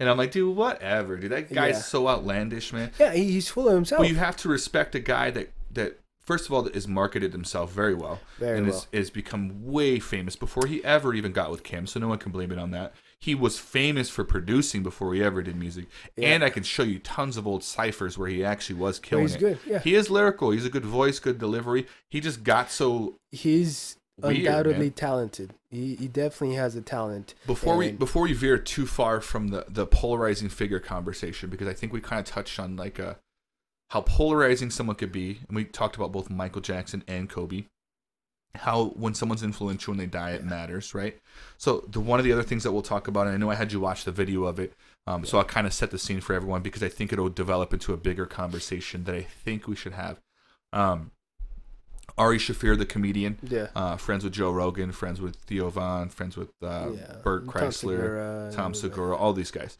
Um, very funny guy. I've seen some of his old stuff. I've seen a lot of his stuff through Joe Rogan, of course. Um, he hosts uh, a thing on, on Comedy Central where they talk about events. It's like stand up comedy, but it's based off like true stories. Uh, really funny guy. I love his stand up. Um, he's always been controversial. He's always been in trouble for some stuff. But he posted a Twitter post that got removed and then he doubled down by reposting a video Yeah. on Instagram, I believe. And essentially what he was saying, and we'll just say what he said and then we'll talk about it. But he was saying a great thing happened today. Kobe Bryant has died. Yeah. He should have died, and I forgot 14 the years ago. 14 years ago when he raped that woman in Denver Yeah. or in Colorado, wherever it happened, and he went off. He said sometimes bad things happen, but not today. Today a Yeah. great thing happened. Yeah. And he posted that. He said some other things. He was in North Carolina. He had a mural behind him of a bunch of basketball players. North Carolina is where Kobe Oh, yeah. Bryant um, was from. Yeah, and Um, that's and- where he started playing, right? The- He got drafted by Vancouver, I believe. I I should not be the one talking about this. And they got traded draft day to the Lakers. He's always been a Laker. Uh, but I think he uh, he had some history there. Either way, um, I don't know if, if Shaffir is from there. I don't know why he was he was obviously already there to sure. record the video. Um, but he posted that I think the day of or the day after Kobe Bryant passed Yeah. away, and the internet exploded. People were so mad at him. Yeah. I when I saw the video, you know that weird feeling in the stomach, like I got Yeah. that where I'm like, God, man, like it's too This soon. guy, yeah. So let's let's talk about let's break down what your thoughts are and why he said that, and then we'll talk about both sides. Before you do that, here's what I want to say. My first thought is that stuff doesn't matter, right? Uh, whatever your stupid little opinion is, like you should keep that to yourself because there's more important things. Doesn't matter if you know facts. People were hurting. There was more than just Kobe Bryant on that plane. There's more than just the, I mean, you, know, I mean, you have to respect yes. people, yeah. right? So my first thought was sick. Now, other people that have broken it down have made these points. These are not my points. I want to make that clear. I don't think this is the right thing, but they made the point. I think one of the things he said was the NBA, like, or the people in in the in the judicial system like basketball more than they like saving rape victims. It was like one of the comments he had made, something similar to that. That wasn't verbatim. Um, and so, like, we have to decipher really what he's saying, right? He's saying that the, this person who, by the way, was not convicted. All it was dropped. There, there was a civil case that they actually settled outside of court, in which yeah. um, the woman. This is the main reason why everyone thinks that he for sure did it. The agreement was that the woman, she didn't even want money, so the settlement had nothing to do with money. She said, "I don't want money. I just want you to write a letter confessing what you did, and we're good." And Kobe did, um, and so that was the huge issue back in the day. So the biggest thing is not what he did. We all know what he did. We all know what he's accused of. We all know what happened. And then and then where he was today. And what I think that Ari Shaffir is missing is you're forgetting to judge the person from today. Yeah. It, it, he didn't die back then. He didn't die. He he passed away with his daughter recently, and we have to judge him, the human being, of who he is today.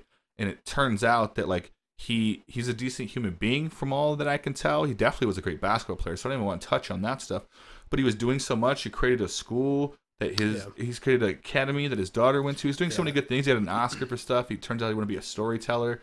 Like all these things from everything that I can see, he changed. And I think it's super crazy for people and we as hum- human beings have to get better at this. Yeah. We see we talked about labels earlier. This is why this is so important. We see someone, we call them something, and then we book them with the rest of the stuff. Yeah. What do you do? Is there not a path to redemption? Whether he did that or not, who did he become? Do we just shun everyone when you make one mistake? Whether yeah. it's a big one like that or a small one like speeding, or do yeah. we just throw everyone aside? Or are we going to go, hey, there's people, murderers. There's murderers in prison where the family of the murdered victim visits the murderer yeah, in jail yeah. and has forgiven them and is helping them recover. If that person can be that strong, then you at home or wherever you're at, like you can be strong enough to look at someone and go, "What is your redemption?" and yeah. give them the opportunity. Not only did this person have the opportunity that people didn't give him, by the way, he took it anyways. The dude was still dropping points, still doing all this good stuff, and be, became this great person and a really good father that's yeah. who Ari Shaffir should be judging, not your stupid opinion about something from back then. And there's a right time to make comments like that. And the day or even the day after is definitely not the right time. I think he's yeah. outlandish for saying those things. It's crazy stupid. And I think anyone in life that's thinking about judging someone and who they were is ridiculous. You need to look at who the person is today, yeah. right now, and judge them off what you see and give them credit for who they became. It, it to me, it's I really dislike um, and I'm not I'm not gonna say that I know uh, Ari Shaffir's uh, body of work very much. I mean, I, I know he's, he's a funny he's guy. He's pretty hilarious, funny, and I've seen some really of his talented. clips. But he doesn't have, uh, or I, I haven't watched myself a lot of his work. Uh, but I would like to say this though: I think he's wrong in judging Kobe as a person himself, because I think the only person that can judge him and thus give him forgiveness is the person that that was in the case, right? The woman that he raped, right? That is the only person that should be given that that um that feedback. I don't she, know if I agree with that. Because I think we're allowed to not like someone that yeah, did a bad thing. We're we're allowed to not like them, but he is. I don't think he's allowed to to bring such negativity into something that he was not a part of. Maybe the woman is already healed from it. Maybe the the woman yeah, has already that's the biggest thing is it's it. been this didn't just so happen. This has been is, time. And not not only is he judging uh, Kobe Bryant, but he's also judging the people who are part of a ju- judicial system, right? They whether they like basketball or not better than they like uh, rape victims. That's that's not for him to to uh, say because who knows is that really what happened? Is it not really what happened? You're really just adding like fuel to that fire that is unnecessary. Here's the other part of it: is there's been announcers And I like that they do this. And Rachel Nichols is one of them. She's the host of The Jump on ESPN, which is a completely, uh, the whole segment is based off basketball. They don't cover any other sports. And she was one of the first people that I noticed. Uh, correct me if she's not, if anyone's listening that she's not.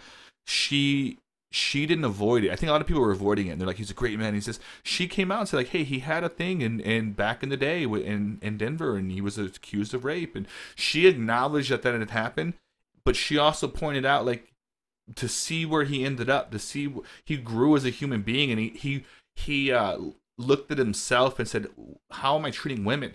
Even if he didn't, if that wasn't what he did with her, he for sure looked at himself and said, "Like, what is my relationship like with women, and why would I treat this person that way?" And he changed, and he changed in such a way that he influenced his daughter doing that. And so I think it's important. The point I'm trying to make is. I don't think it's bad that you acknowledge that those things happen because they did happen. Of course not. But can we not just look at anyone ever and go like, God, this person did this thing, but who are they now? Like, can we not incorporate both, or do we, are we just who we are? Like, what what is that? If you mess up once and you're done, like I don't want to live in a world where people make a mistake and they're done.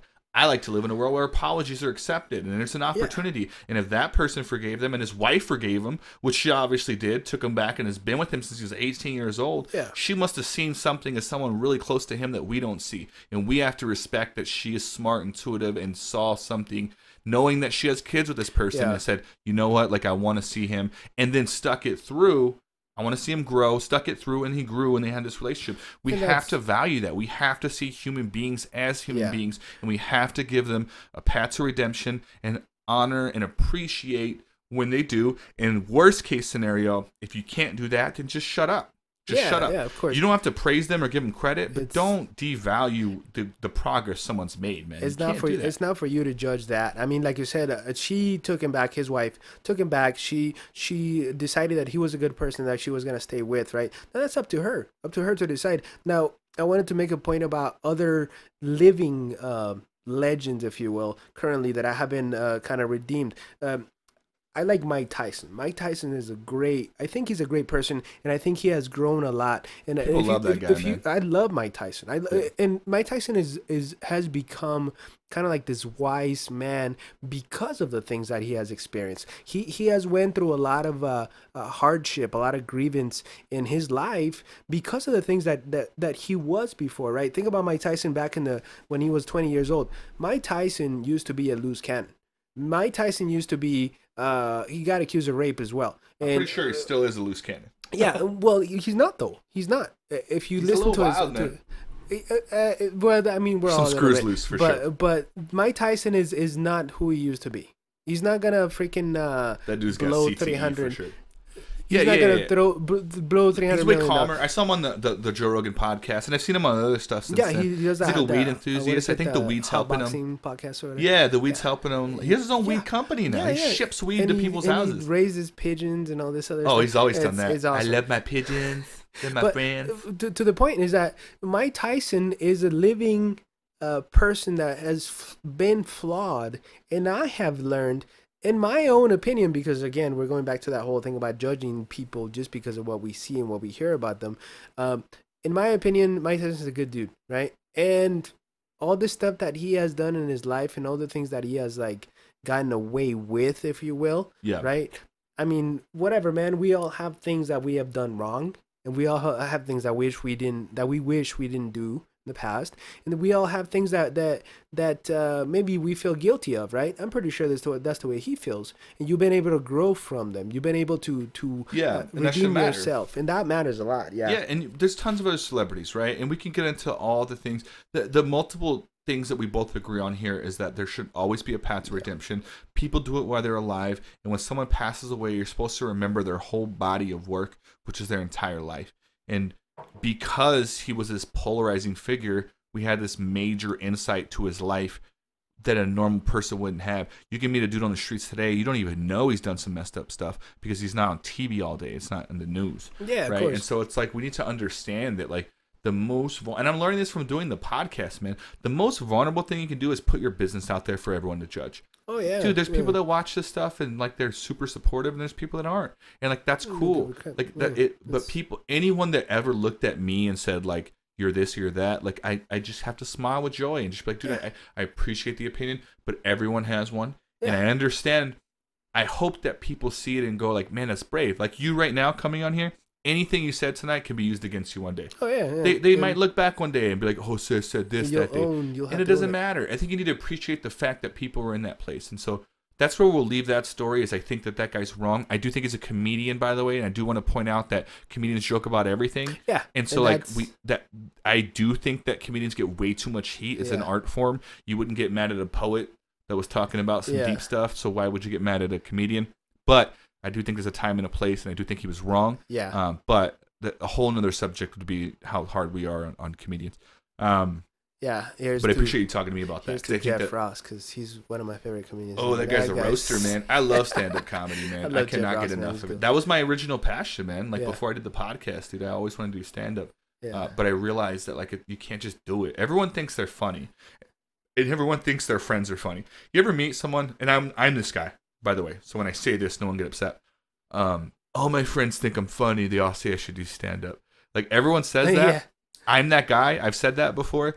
Dude, being a realistic person, like, it takes a lot of hard work. Oh, Really yeah. funny people suck at comedy sometimes because sometimes you're different. You don't own your craft, then you can't really be good at it. And so I, I that was my original thing was to be a comedian. Uh, but I never had the opportunity. I never like literally. I'd like to think I had to drive, but if I did, then I'd be on stage right now doing something. Yeah. But oh, instead, yeah. I chose this because I found that I really like this a little bit more. I like being funny, but I also like having real conversations, and I can't do both as a comedian. Um, so I enjoyed this a little bit more. And this is really good. I, I really like that you're doing this because I feel like it elevates everyone as a person to be able to talk it out. Because not it's very rare that anybody gets to sit down with anybody else really and talk for hours and hours about different subjects. Like you don't when's the last time you talked to anybody uh like this Last outside of the podcast? on uh, outside of the four. podcast. no, I'm just No, kidding. outside of the podcast, all like the on the time. street. I get what you're saying, but me personally, all the time. This is what When I. you go this deep, you start talking about yes, No, it, it is. I mean, uh, not that I, I get in trouble for how deep I get into conversations because I forget to. I, I get so sucked into You something. I talk find- to- So, okay. but I get what you're saying. Usually you don't. Me, I do, which is why I'm doing the podcast because I need this Yeah, and you know what? That that's that's actually a great, excellent point that you bring up. That that you do do it. It makes me realize that I don't, and I need to, because How do you I feel, feel talking to me right now?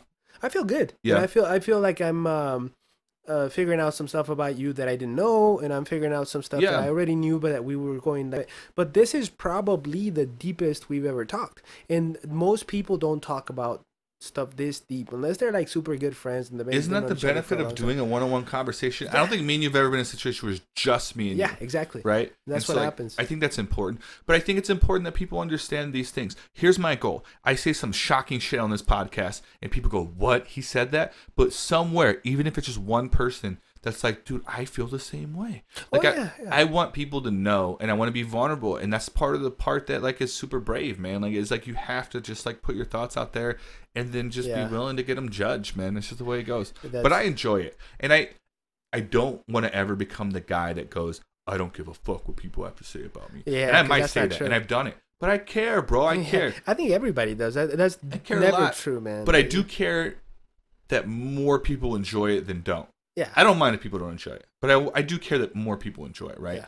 Because that's just the way it goes, and I like having conversations. And I want, dude. So many people have hit me up since this came out, and they're like, "Dude, I want to be in your next episode, Oh, yeah, dude." yeah. And I'm like, I don't think I've told no to anyone, dude. Like, I, I, yes, like how many of them will follow up? I don't know. I have guests already lined up. Yeah. Some of them that are that are persistent will probably get on, man. But the whole point is like I want to have real conversations with real people, whether they're really close friends, not so close friends. Um, I don't care, man, because I, I enjoy this stuff, man. I really want Yeah. people uh, get the inside of, of what it's like. They get an inside of me. They get an inside of you. They get inside Yeah. of a nurse. They get they they uh uh they get the inside of of whatever the fuck I am. Like you know what I mean? Like whatever they get out of it. Like the people that listen, the feedback has been awesome, man. And like I think people are, are just like really really uh just they're open. really seeing the point of it. And so I think that's cool. Think that's really cool. Oh yeah, yeah, definitely. And I, like I said, I mean, it elevates you as a person. It elevates everybody as people when they come on this um, this podcast and this this um, type of conversation in general. For people, to elevate it elevates you because it also lets you understand some of the thoughts that you hadn't unscrambled in your head. Right. Yeah, I think saying them out loud helps, and, and um, because I want to like, I'm kind of like, I want to figure out the proper way to say this. I have like a like a a me, like a. I sound like I know what I'm saying at all times. Like Yeah. if I say something, I say like, "Bro, I'm not doing it. That's the end of it. It's the way it is. Done." Like that's not literally what I'm saying all the time, but that attitude of like, "This is the way it is." Yeah. I'm not arrogant. That comes off as arrogant sometimes. Like Will thinks he knows. I don't fucking know. I can't help the way I am, man. I talk about how I how I talk, man, and I have a habit of doing that. And I think sometimes it's it can be intimidating, but here it doesn't feel that way. There's been several times where I told you, "Hey, I don't know if I feel that way," or "I don't know if Oh, I." yeah. And you've done the same. And it's like I I want that, man. I don't. I'm not offended. Like I I- like if someone doesn't agree with me, like I want to hear about it. Um, but I like it's that's just the way I am. I'm always going to be that way. I don't want anyone to ever interpret as arrogance, man. It's just the way I feel. So I feel. let me ask you a question. Since me. that's a good segue to this, what is one opinion that you have that is unpopular and that that you think that people won't like if you say it out loud? Ooh, tons of them, man. We did a, a podcast. I have a few of them that I don't know about yet, but if I had to guess, I have one. I have a, so I did a podcast with my boy Yemi, and we talked about racism a bit, and we both uh, said some things that were pretty controversial. I don't know if you saw that episode. I haven't seen it yet. No. I love it, right? Yeah. I understand how It's it makes hard. people a little feel, feel. Dude, that conversation in general is uncomfortable, right? But you're Yeah. sitting here talking to me, who's probably the whitest person in the world, and then Yemi, who's mixed. He's his he's he has a black parent and a white parent, and I think he mentioned. I hope I'm not misquoting him. His dad's from Africa, and his mom is from Whitesville, Wisconsin. I think he said. No, but she's the white lady. You know, wherever white people are from. I don't know because white people are just white, right? from everywhere, man. But he like his skin tone. If you if you didn't know that, it's a black guy and a white guy, right? And so you'd assume this, like you can kind of guess when people talk about racism where it's gonna go. Um, and we we had like really opposite opinions. I ended up saying like, hey, I think um, I think everyone's a little bit racist, and I think what you do with that information is what matters. If if I were to pick my own racism, right? Because I can't just say everyone's racist and not talk about myself. Yeah, of I was like, if I had to pick my own racism, I think I might be a little racist against white people. And I don't know how people took it. I do know it's the only video that doesn't have 100% likes. I'll say that. Like, some, someone, at least one person, if not more, didn't Yeah, like the video. yeah. Um, and then at one point, Yemi says, uh, "I feel the same way about black people." And then like he talks about that's- how how he doesn't connect with with black people is the same way that I'm saying that I don't connect to white people, and we broke it down pretty well. yeah. Eh, re- but no matter what, like those conversations have shock value. Where people go, "Wait," first of all. People will go, wait, what? Like, is the white guy saying he doesn't like white people, and the black guy saying he doesn't like black people? Yeah. and then they're breaking down what we're talking about and they're even more confused and then like it it's i want there to be shock value i want people to question what they're Yeah. watching and i want people to be upset and i want people to be happy i want people to be sad i want people to be angry i want people to question themselves and go well, wait if they feel that way what do i feel like and i want people i want to have the conversation is all i'm saying That's that's that's how you win. That's how that's how you win. Look, I, I was just thinking about this. I was gonna mention it earlier. Um, so think about what the persona that people create that are the most successful. They are uh, specifically in sports, right? Think about Floyd Mayweather. Now, Floyd Mayweather was a master at that. So he always uh, kind of fanned the fires to make people dislike him because w- anytime they wanted to go watch it, I don't know if you if you love Floyd Mayweather, but most people Don't. that I know wanted respect to see him, lose. i think he's a good boxer yeah you that's why you watch him you watch him because you want to see him get knocked out. Exactly. Now that's Conor McGregor. I know you love Conor McGregor. Conor McGregor is the same why do you though. think i love conor mcgregor because you've told because me. Because I do because you fucking Irish, told me. and i'm irish no, but th- he's doing the same thing. He's he's playing the game because he has that leverage. But I think more people like Conor McGregor because he actually finishes fighters, which Mayweather didn't do. But Yeah. I get what you're saying, like like in in relevance to like the shock value. Is that what you're he saying? shit talks. That's that's the part that I'm talking about. He he does a lot of shit talking to build these things up, and you know, unfortunately, it's Well, what's the metaphor? Because I don't think we were shit talking. I think we were just talking about. well, think about the Khabib people- fight, right? I mean, he was shit talking, like straight up. Well, a lot of people hate him for that fight. If anything, he And that's what gained a lot of fans back after this last fight because he was way more humble. Yeah, but he for sure exactly. lost fans. But to- Probably to- the most fans because he talked all that shit, and then it was the first time he didn't back it up. That's what I'm saying. Is that he? That is the highest selling pay per view uh, ever for the UFC. Is it number one? Yes, number one. And the reason for that, it's because he talked that much shit and he built it up. This last pay per view, of course, it wasn't gonna be as big because it's Cowboy Cerrone. I mean, I love Cowboy. He's he's a badass and They're he saying does everything big. that is. But They were saying Joe Rogan was talking about it today on his podcast. Yeah. That it was surprisingly bigger. They think it might be very close to the Khabib fight. that's what she said.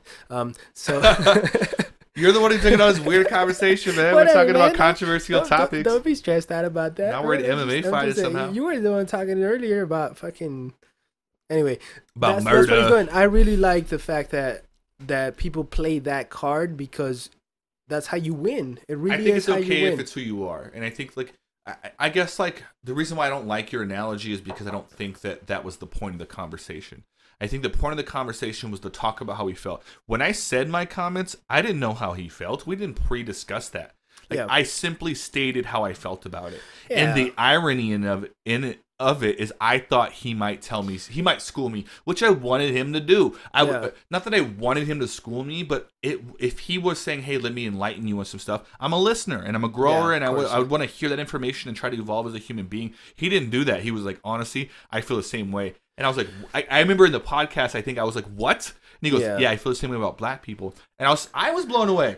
And so it's like, but I don't think people want to hear that, man. They don't want to hear like two people like encouraging that it's okay to like not feel that way. And I'm not encouraging that it is. I'm just being honest with how I feel. I tend to gravitate more towards Hispanic and black people than I than I tend to gravitate towards white That- people, but that's- that was my including my family. so that was my point though that it wasn't that that uh mcgregor or floyd are like this or that my point was that shock value is what wins that's how you win the game Yeah, That's no. how they Well, there's the a game. benefit in that. There's a benefit in saying shocking things. There really Yeah. is. Uh, uh, that's how you sell a fight i mean that really is how you sell a fight Yeah. if you really want to be a huge star you want to sell the fight that is the or you last have thing. to back it up like like Tony because Tony doesn't sell fights he sells uh, like he doesn't hype up fights he sells he sells fights with violence and that's beautiful man Tony Ferguson is my favorite fighter by the way you you already know He's that coming up too. I love Tony good fight. I, I- I was gonna say if because I love both Khabib and Tony because they're both amazing fighters. Khabib in his own way, Tony in, in his own way. But if Khabib were to lose, I wouldn't want it to be to anybody else but Tony, man, because Tony deserves that shit. First of all, Tony's I don't think anyone's going to beat Khabib. You don't but- think so? I, yeah, I don't think so either. I don't think he's gonna. Uh, Tony's gonna win. The person who I think has the best chance is probably Tony.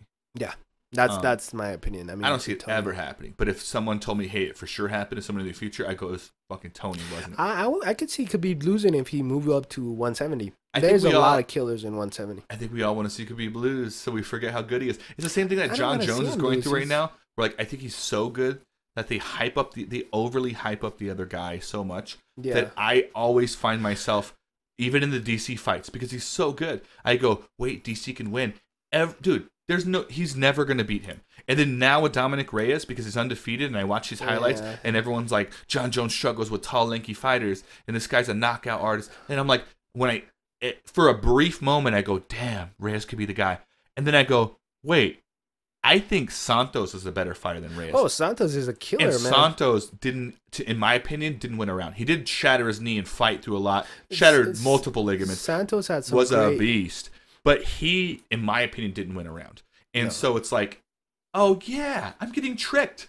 I'm getting tricked right now. And so I think the fight. what- getting back to Khabib, I think that's the thing with Khabib is people want him to lose so much that we start. When I think of Tony, I think of he's one of the biggest win streaks. Everyone he fights is bloodied up.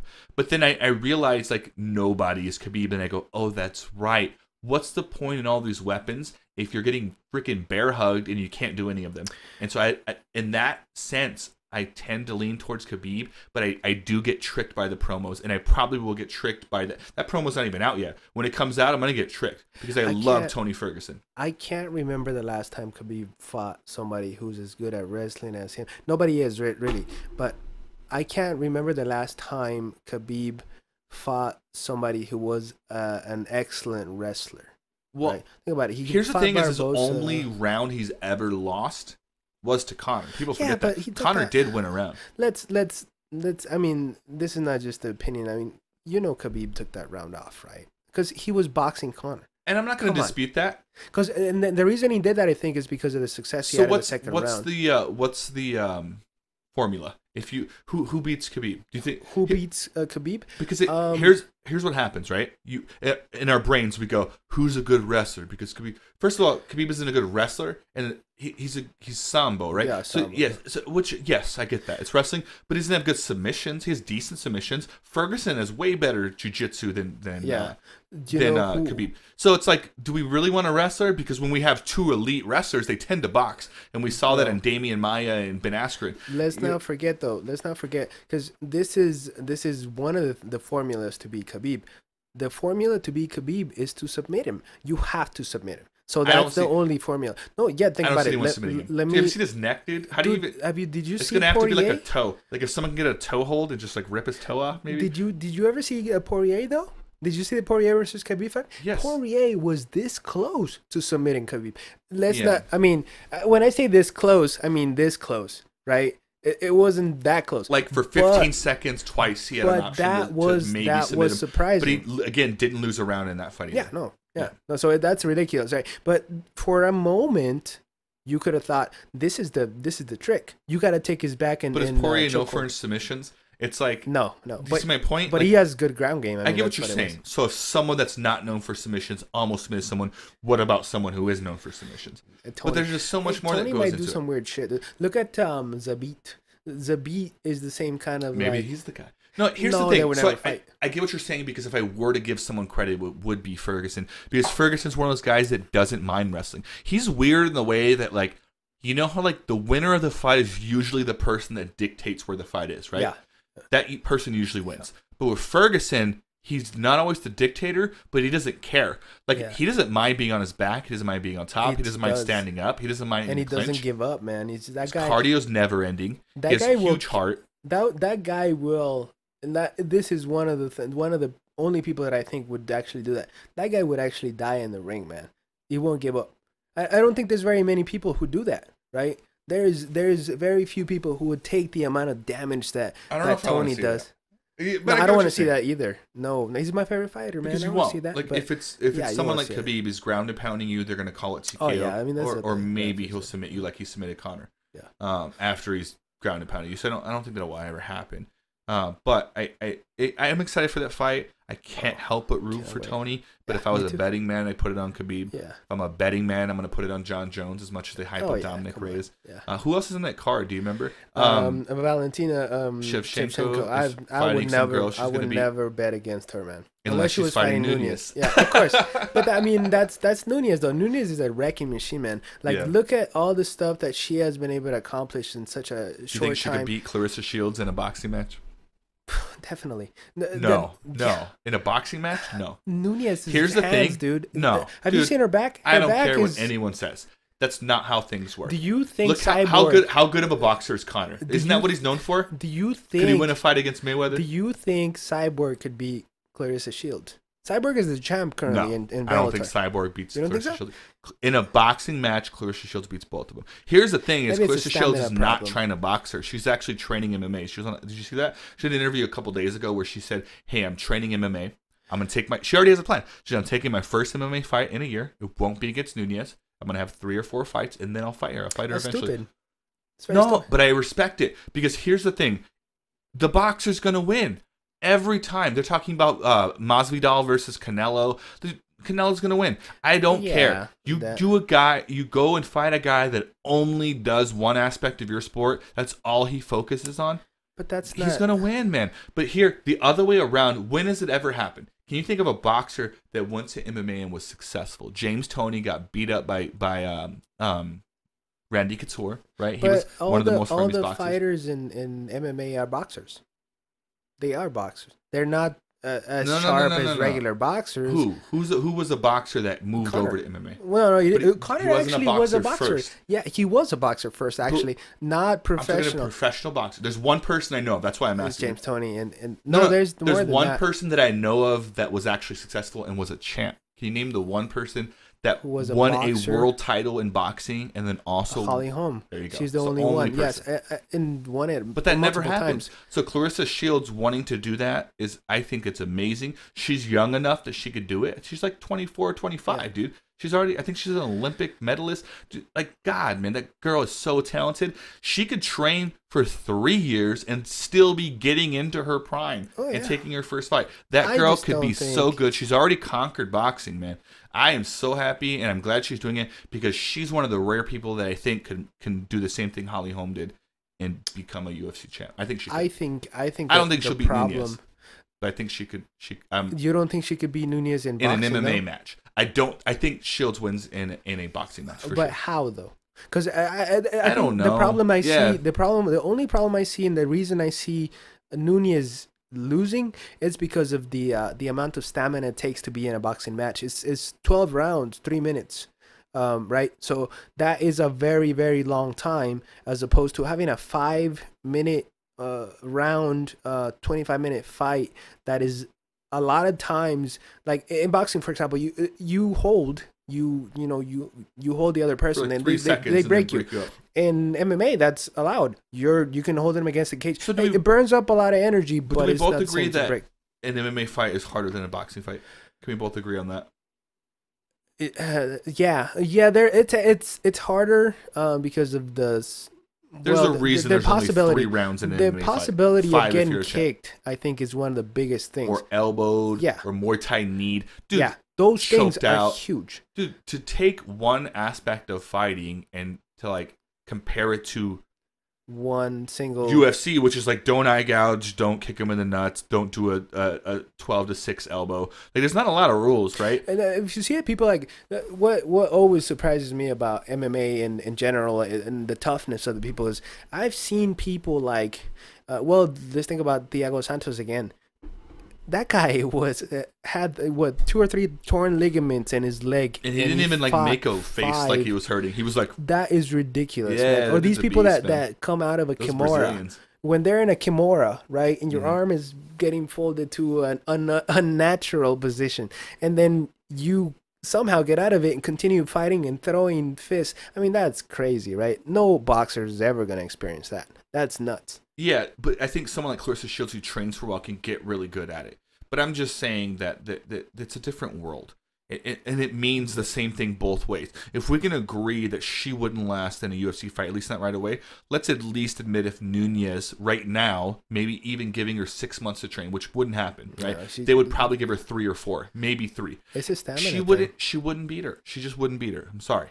I don't care who says. I'm says pretty what. sure she could knock her out in the first few rounds. Just think so. because, uh, well, Don't here- care here's the it. fallacy, though. We're talking about McGregor, who knocked out the number one pound for pound fighter and Jose Aldo at the time in like a couple was seconds, bro. 145 pounds, man. I don't care what people say.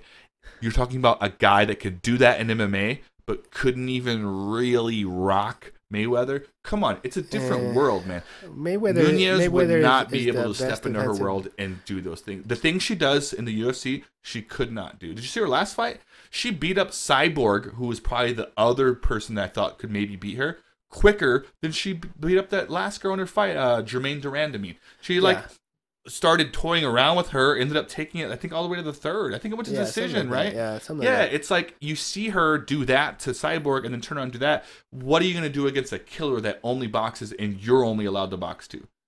Claressa Shields wins that fight. I, I I see your point with that, and I again I think it's a stamina thing. Uh, Claressa Shields, if she can drag the fight into the fourth, fifth, sixth, seventh, eighth round, then and then uh, Nunes would completely fade at that point because she is a big, big, uh, like powerful fighter, right? She's Yeah. she got power, so she usually gets it done very quickly. Like you said, uh, against the enemy, she didn't. So um, maybe at that end of that fight, she just didn't have the same amount of power. But the the problem is that I believe that she has a lot more power than Claressa Shields uh, from the start, right? Yeah. This this is what happened, I think, with uh, Conor McGregor and and uh, Cowboy Cerrone is that I think Conor McGregor has a lot more power off the start, and he overwhelmed uh, uh Cerrone, Yeah. and that was it. Right, so I think Amanda Nunes can do that to Claressa Shields. I think she can go in there and just overwhelm her with her size and power, And then, I mean, But if like you I talked said, about the Conor McGregor fight, he didn't beat up Cowboy Cerrone with punches. He kicked him in the face. He But it's the shoulder bumped him and broke the- his the nose. explosive- These are things you can't do in a boxing fight. yeah, but you can be explosive. You can All right. literally go in there. I could argue with you all day, man. I don't think Claressa Shields loses a boxing Yeah, match against But I do think she would lose a fight okay, who, who wins uh, between uh, Wilder and Fury? I'm gonna fight? go, dude. I cannot help but go for Fury. Yeah. Um, Well, he won the first fight. I think I he think did. he won the first fight. Uh, although that knockout and stand up was a little iffy because I it think was, it was, really 10 close seconds. to ten seconds. Yeah. But if we let's say it was ten exactly and he made it, he wins that fight Yeah. because he for sure won the round. Yeah. I don't think Wilder gets any worse. I do think it's possible Fury does. So I'm scared for him. But as a fan watching it, I'm to- I'm 100% going for Fury. Yeah. It's that whole thing about But um, Wilder, Wilder's no joke, dude. That guy's a He can punch. Man. He can punch. Well, look at what happened to Ortiz. This happened the same. The same thing happened in the first fight. Ortiz was winning that fight because Wilder doesn't really box much as much as he like. I think he knows he's gonna land that punch at some point. yeah. Yeah. and he just waits. And one day he And won't. He just wait. Yeah. yeah. Look at. Did you watch Canelo versus Kovalev? Man, no, I don't watch any Canelo fights anymore. why? Because I don't. you know I- he's gonna win. yes, I think his opportunity to lose is Kovalev. past. He was fighting Kovalev. Kovalev is. I also don't watch a- boxing that much. So if I don't know the other name, I don't watch boxing. Uh, Sergey Kovalev used to be a very, very fearsome uh, boxer uh, before he fought. Um, what did he fight? I don't remember who he fought, but he, he ended up losing very badly. Uh, and then after that, he kind of went on a skid. So he just wasn't the same. Um, but when he fought Canelo, when you watch Canelo fighting him, Kovalev is a fucking giant. Yeah. And and Canelo was holding his own. Or- Yeah, Canelo was was holding his own, and Because it was at a higher weight, right? I Oh think I yeah, saw that. Yeah. yeah, yeah. So uh, natural weight, natural weight class. So when you think about like um Khabib fighting, So what's like Canelo Woodley. naturally, and where did he fight at on that fight? Uh, I think I, I don't remember. Or not naturally. uh, What does he normally fight at? And then where was I think he fight? fights like a 155, 160. I know And the was like boxing weights are different. or something, right? Yes. So Okay. the Kovalev was way bigger. So it would be like Khabib fighting Conor at 170 or something, or fighting a 170. like- No, like a because Khabib and, and Conor are pretty comparable in size as far as like natural size. But it's it's like Usman then. Khabib, 'Cause Khabib Usman really fighting around like or fighting Khabib fighting Woodley, right? Oh, that guy's a Yeah, that guy's Swollen a marshmallow. solid. Yeah, it's he's huge, right? And and they could both make 170, so you could say, oh, they could fight, but realistically, I mean, there's no way, man. It's impossible, right? So, I wouldn't say impossible, but well, I mean, it's unrealistic to think that there's gonna be that much dominance at that weight class. I mean, yeah, Usman is a huge guy, man. yeah, he is, and we'll see where he goes next. All right, man. We've been talking for a long ass time. Let's do our confession I talked to you about, and then we're gonna wrap this shit up. Okay. You good with that? Yeah. So what was that? What's up? What was the uh, confession? Well, bro, you're gonna give me a moment to open this up. No, do it right now, Will. No, I, you think I I got no more time, man. I gotta go take a leak. Hey, Nah, Will, what are you doing uh, with your time? I just sit around and memorize confessions. oh, cool. That sounds like something you would do. Just for you know Uh, safety. I got a Rolodex of confessions in my head. All right, this one's kind of funny, man. Um, it's a little bit longer, but we'll go through it. All right, here's the anonymous confession. They titled it "A Pirate's Life." I don't fucking know why. Arr. I actually do know why, but I think that's a silly title. All right, it says, "I haven't been able to find a job," so I'm assuming it's a guy. Uh, hey man, that's Texas. All right.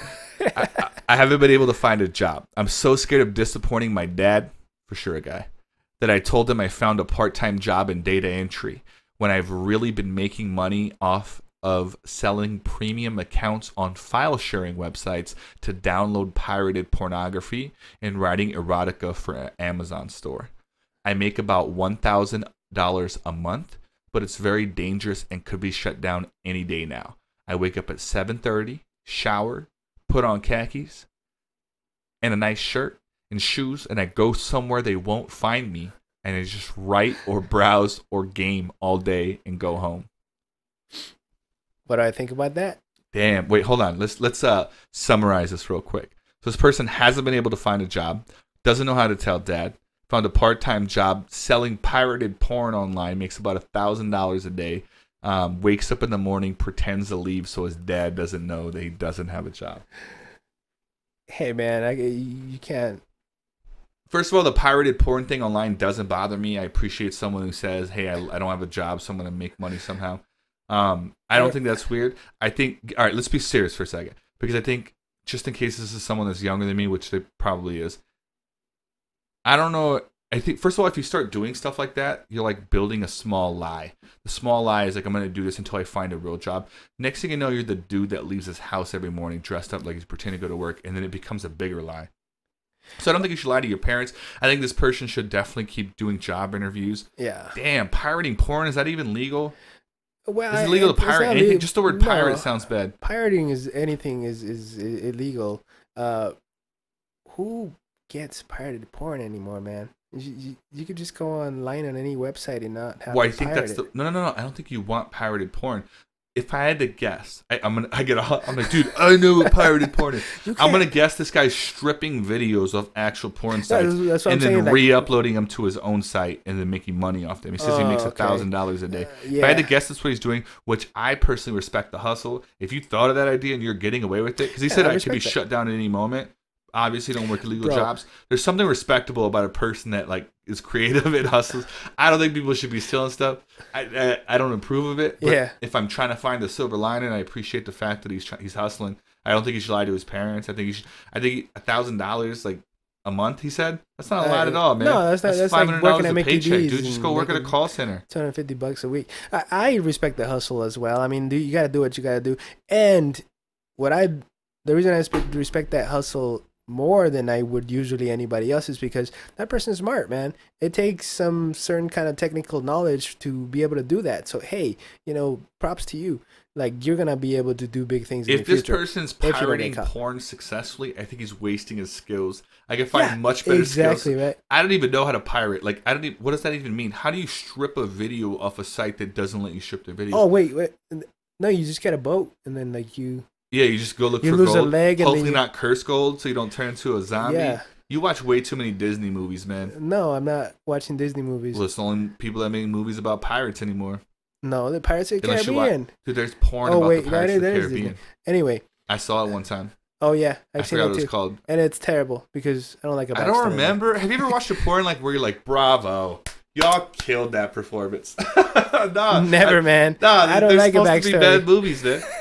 But let's not get off. Let's time? not get off the subject, man. If you So, were all right, if, if you were giving this person- person advice, let's say, let's say it was someone younger than you. Let's say he's 25 and he's doing this, Yeah. and he asked you, and he said, "Don't laugh," and you promised you wouldn't laugh. Let's say, and he gave you the story that I just read, and he said, "What do I do?" What would you tell him? I would say spice up your resume, man. Go talk to somebody who knows about resumes, or or have have somebody like give you their opinion on the resume, and then just make it good, and then just go apply. I'm pretty sure you'll be able to get a job. Yeah, I mean, and also, I guess the question uh, becomes like, what kind of jobs are you looking for? Because I, I thought everybody could get a job at a call center, or like those type of jobs are, are there, man, for the taking. when I first started reading the 10,000. confession, my first thought was like, like how I told you, like, damn, it's impressive. I respect the hustle. Until I got to the part where he said I made a thousand dollars a day, and I was like, that's no, nothing, a month, man. right?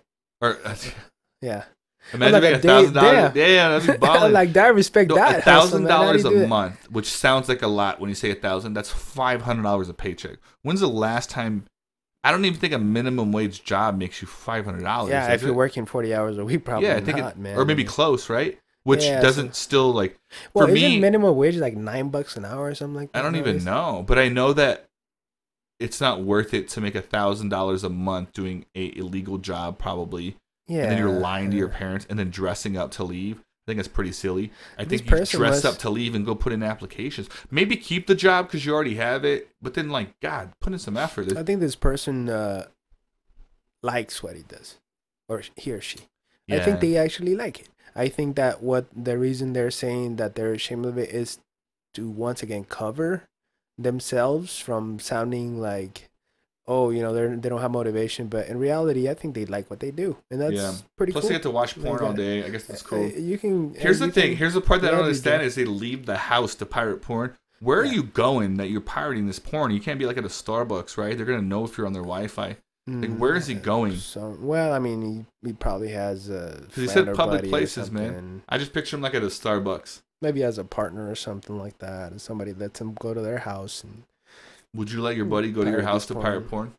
What Hell, if if I'm already you? doing it, if I'm getting a cut, maybe What he makes you're a not? thousand bucks. Trust me, a thousand. You're not getting cut.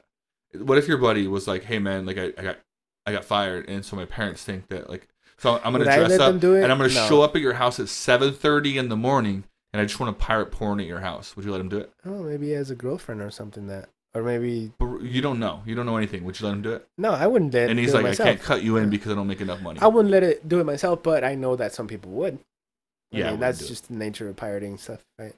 I think I have zero good advice for this guy other than stop doing illegal stuff. I thought I would have good advice. I thought I'd have productive advice, man. Yeah. I don't. I don't have anything.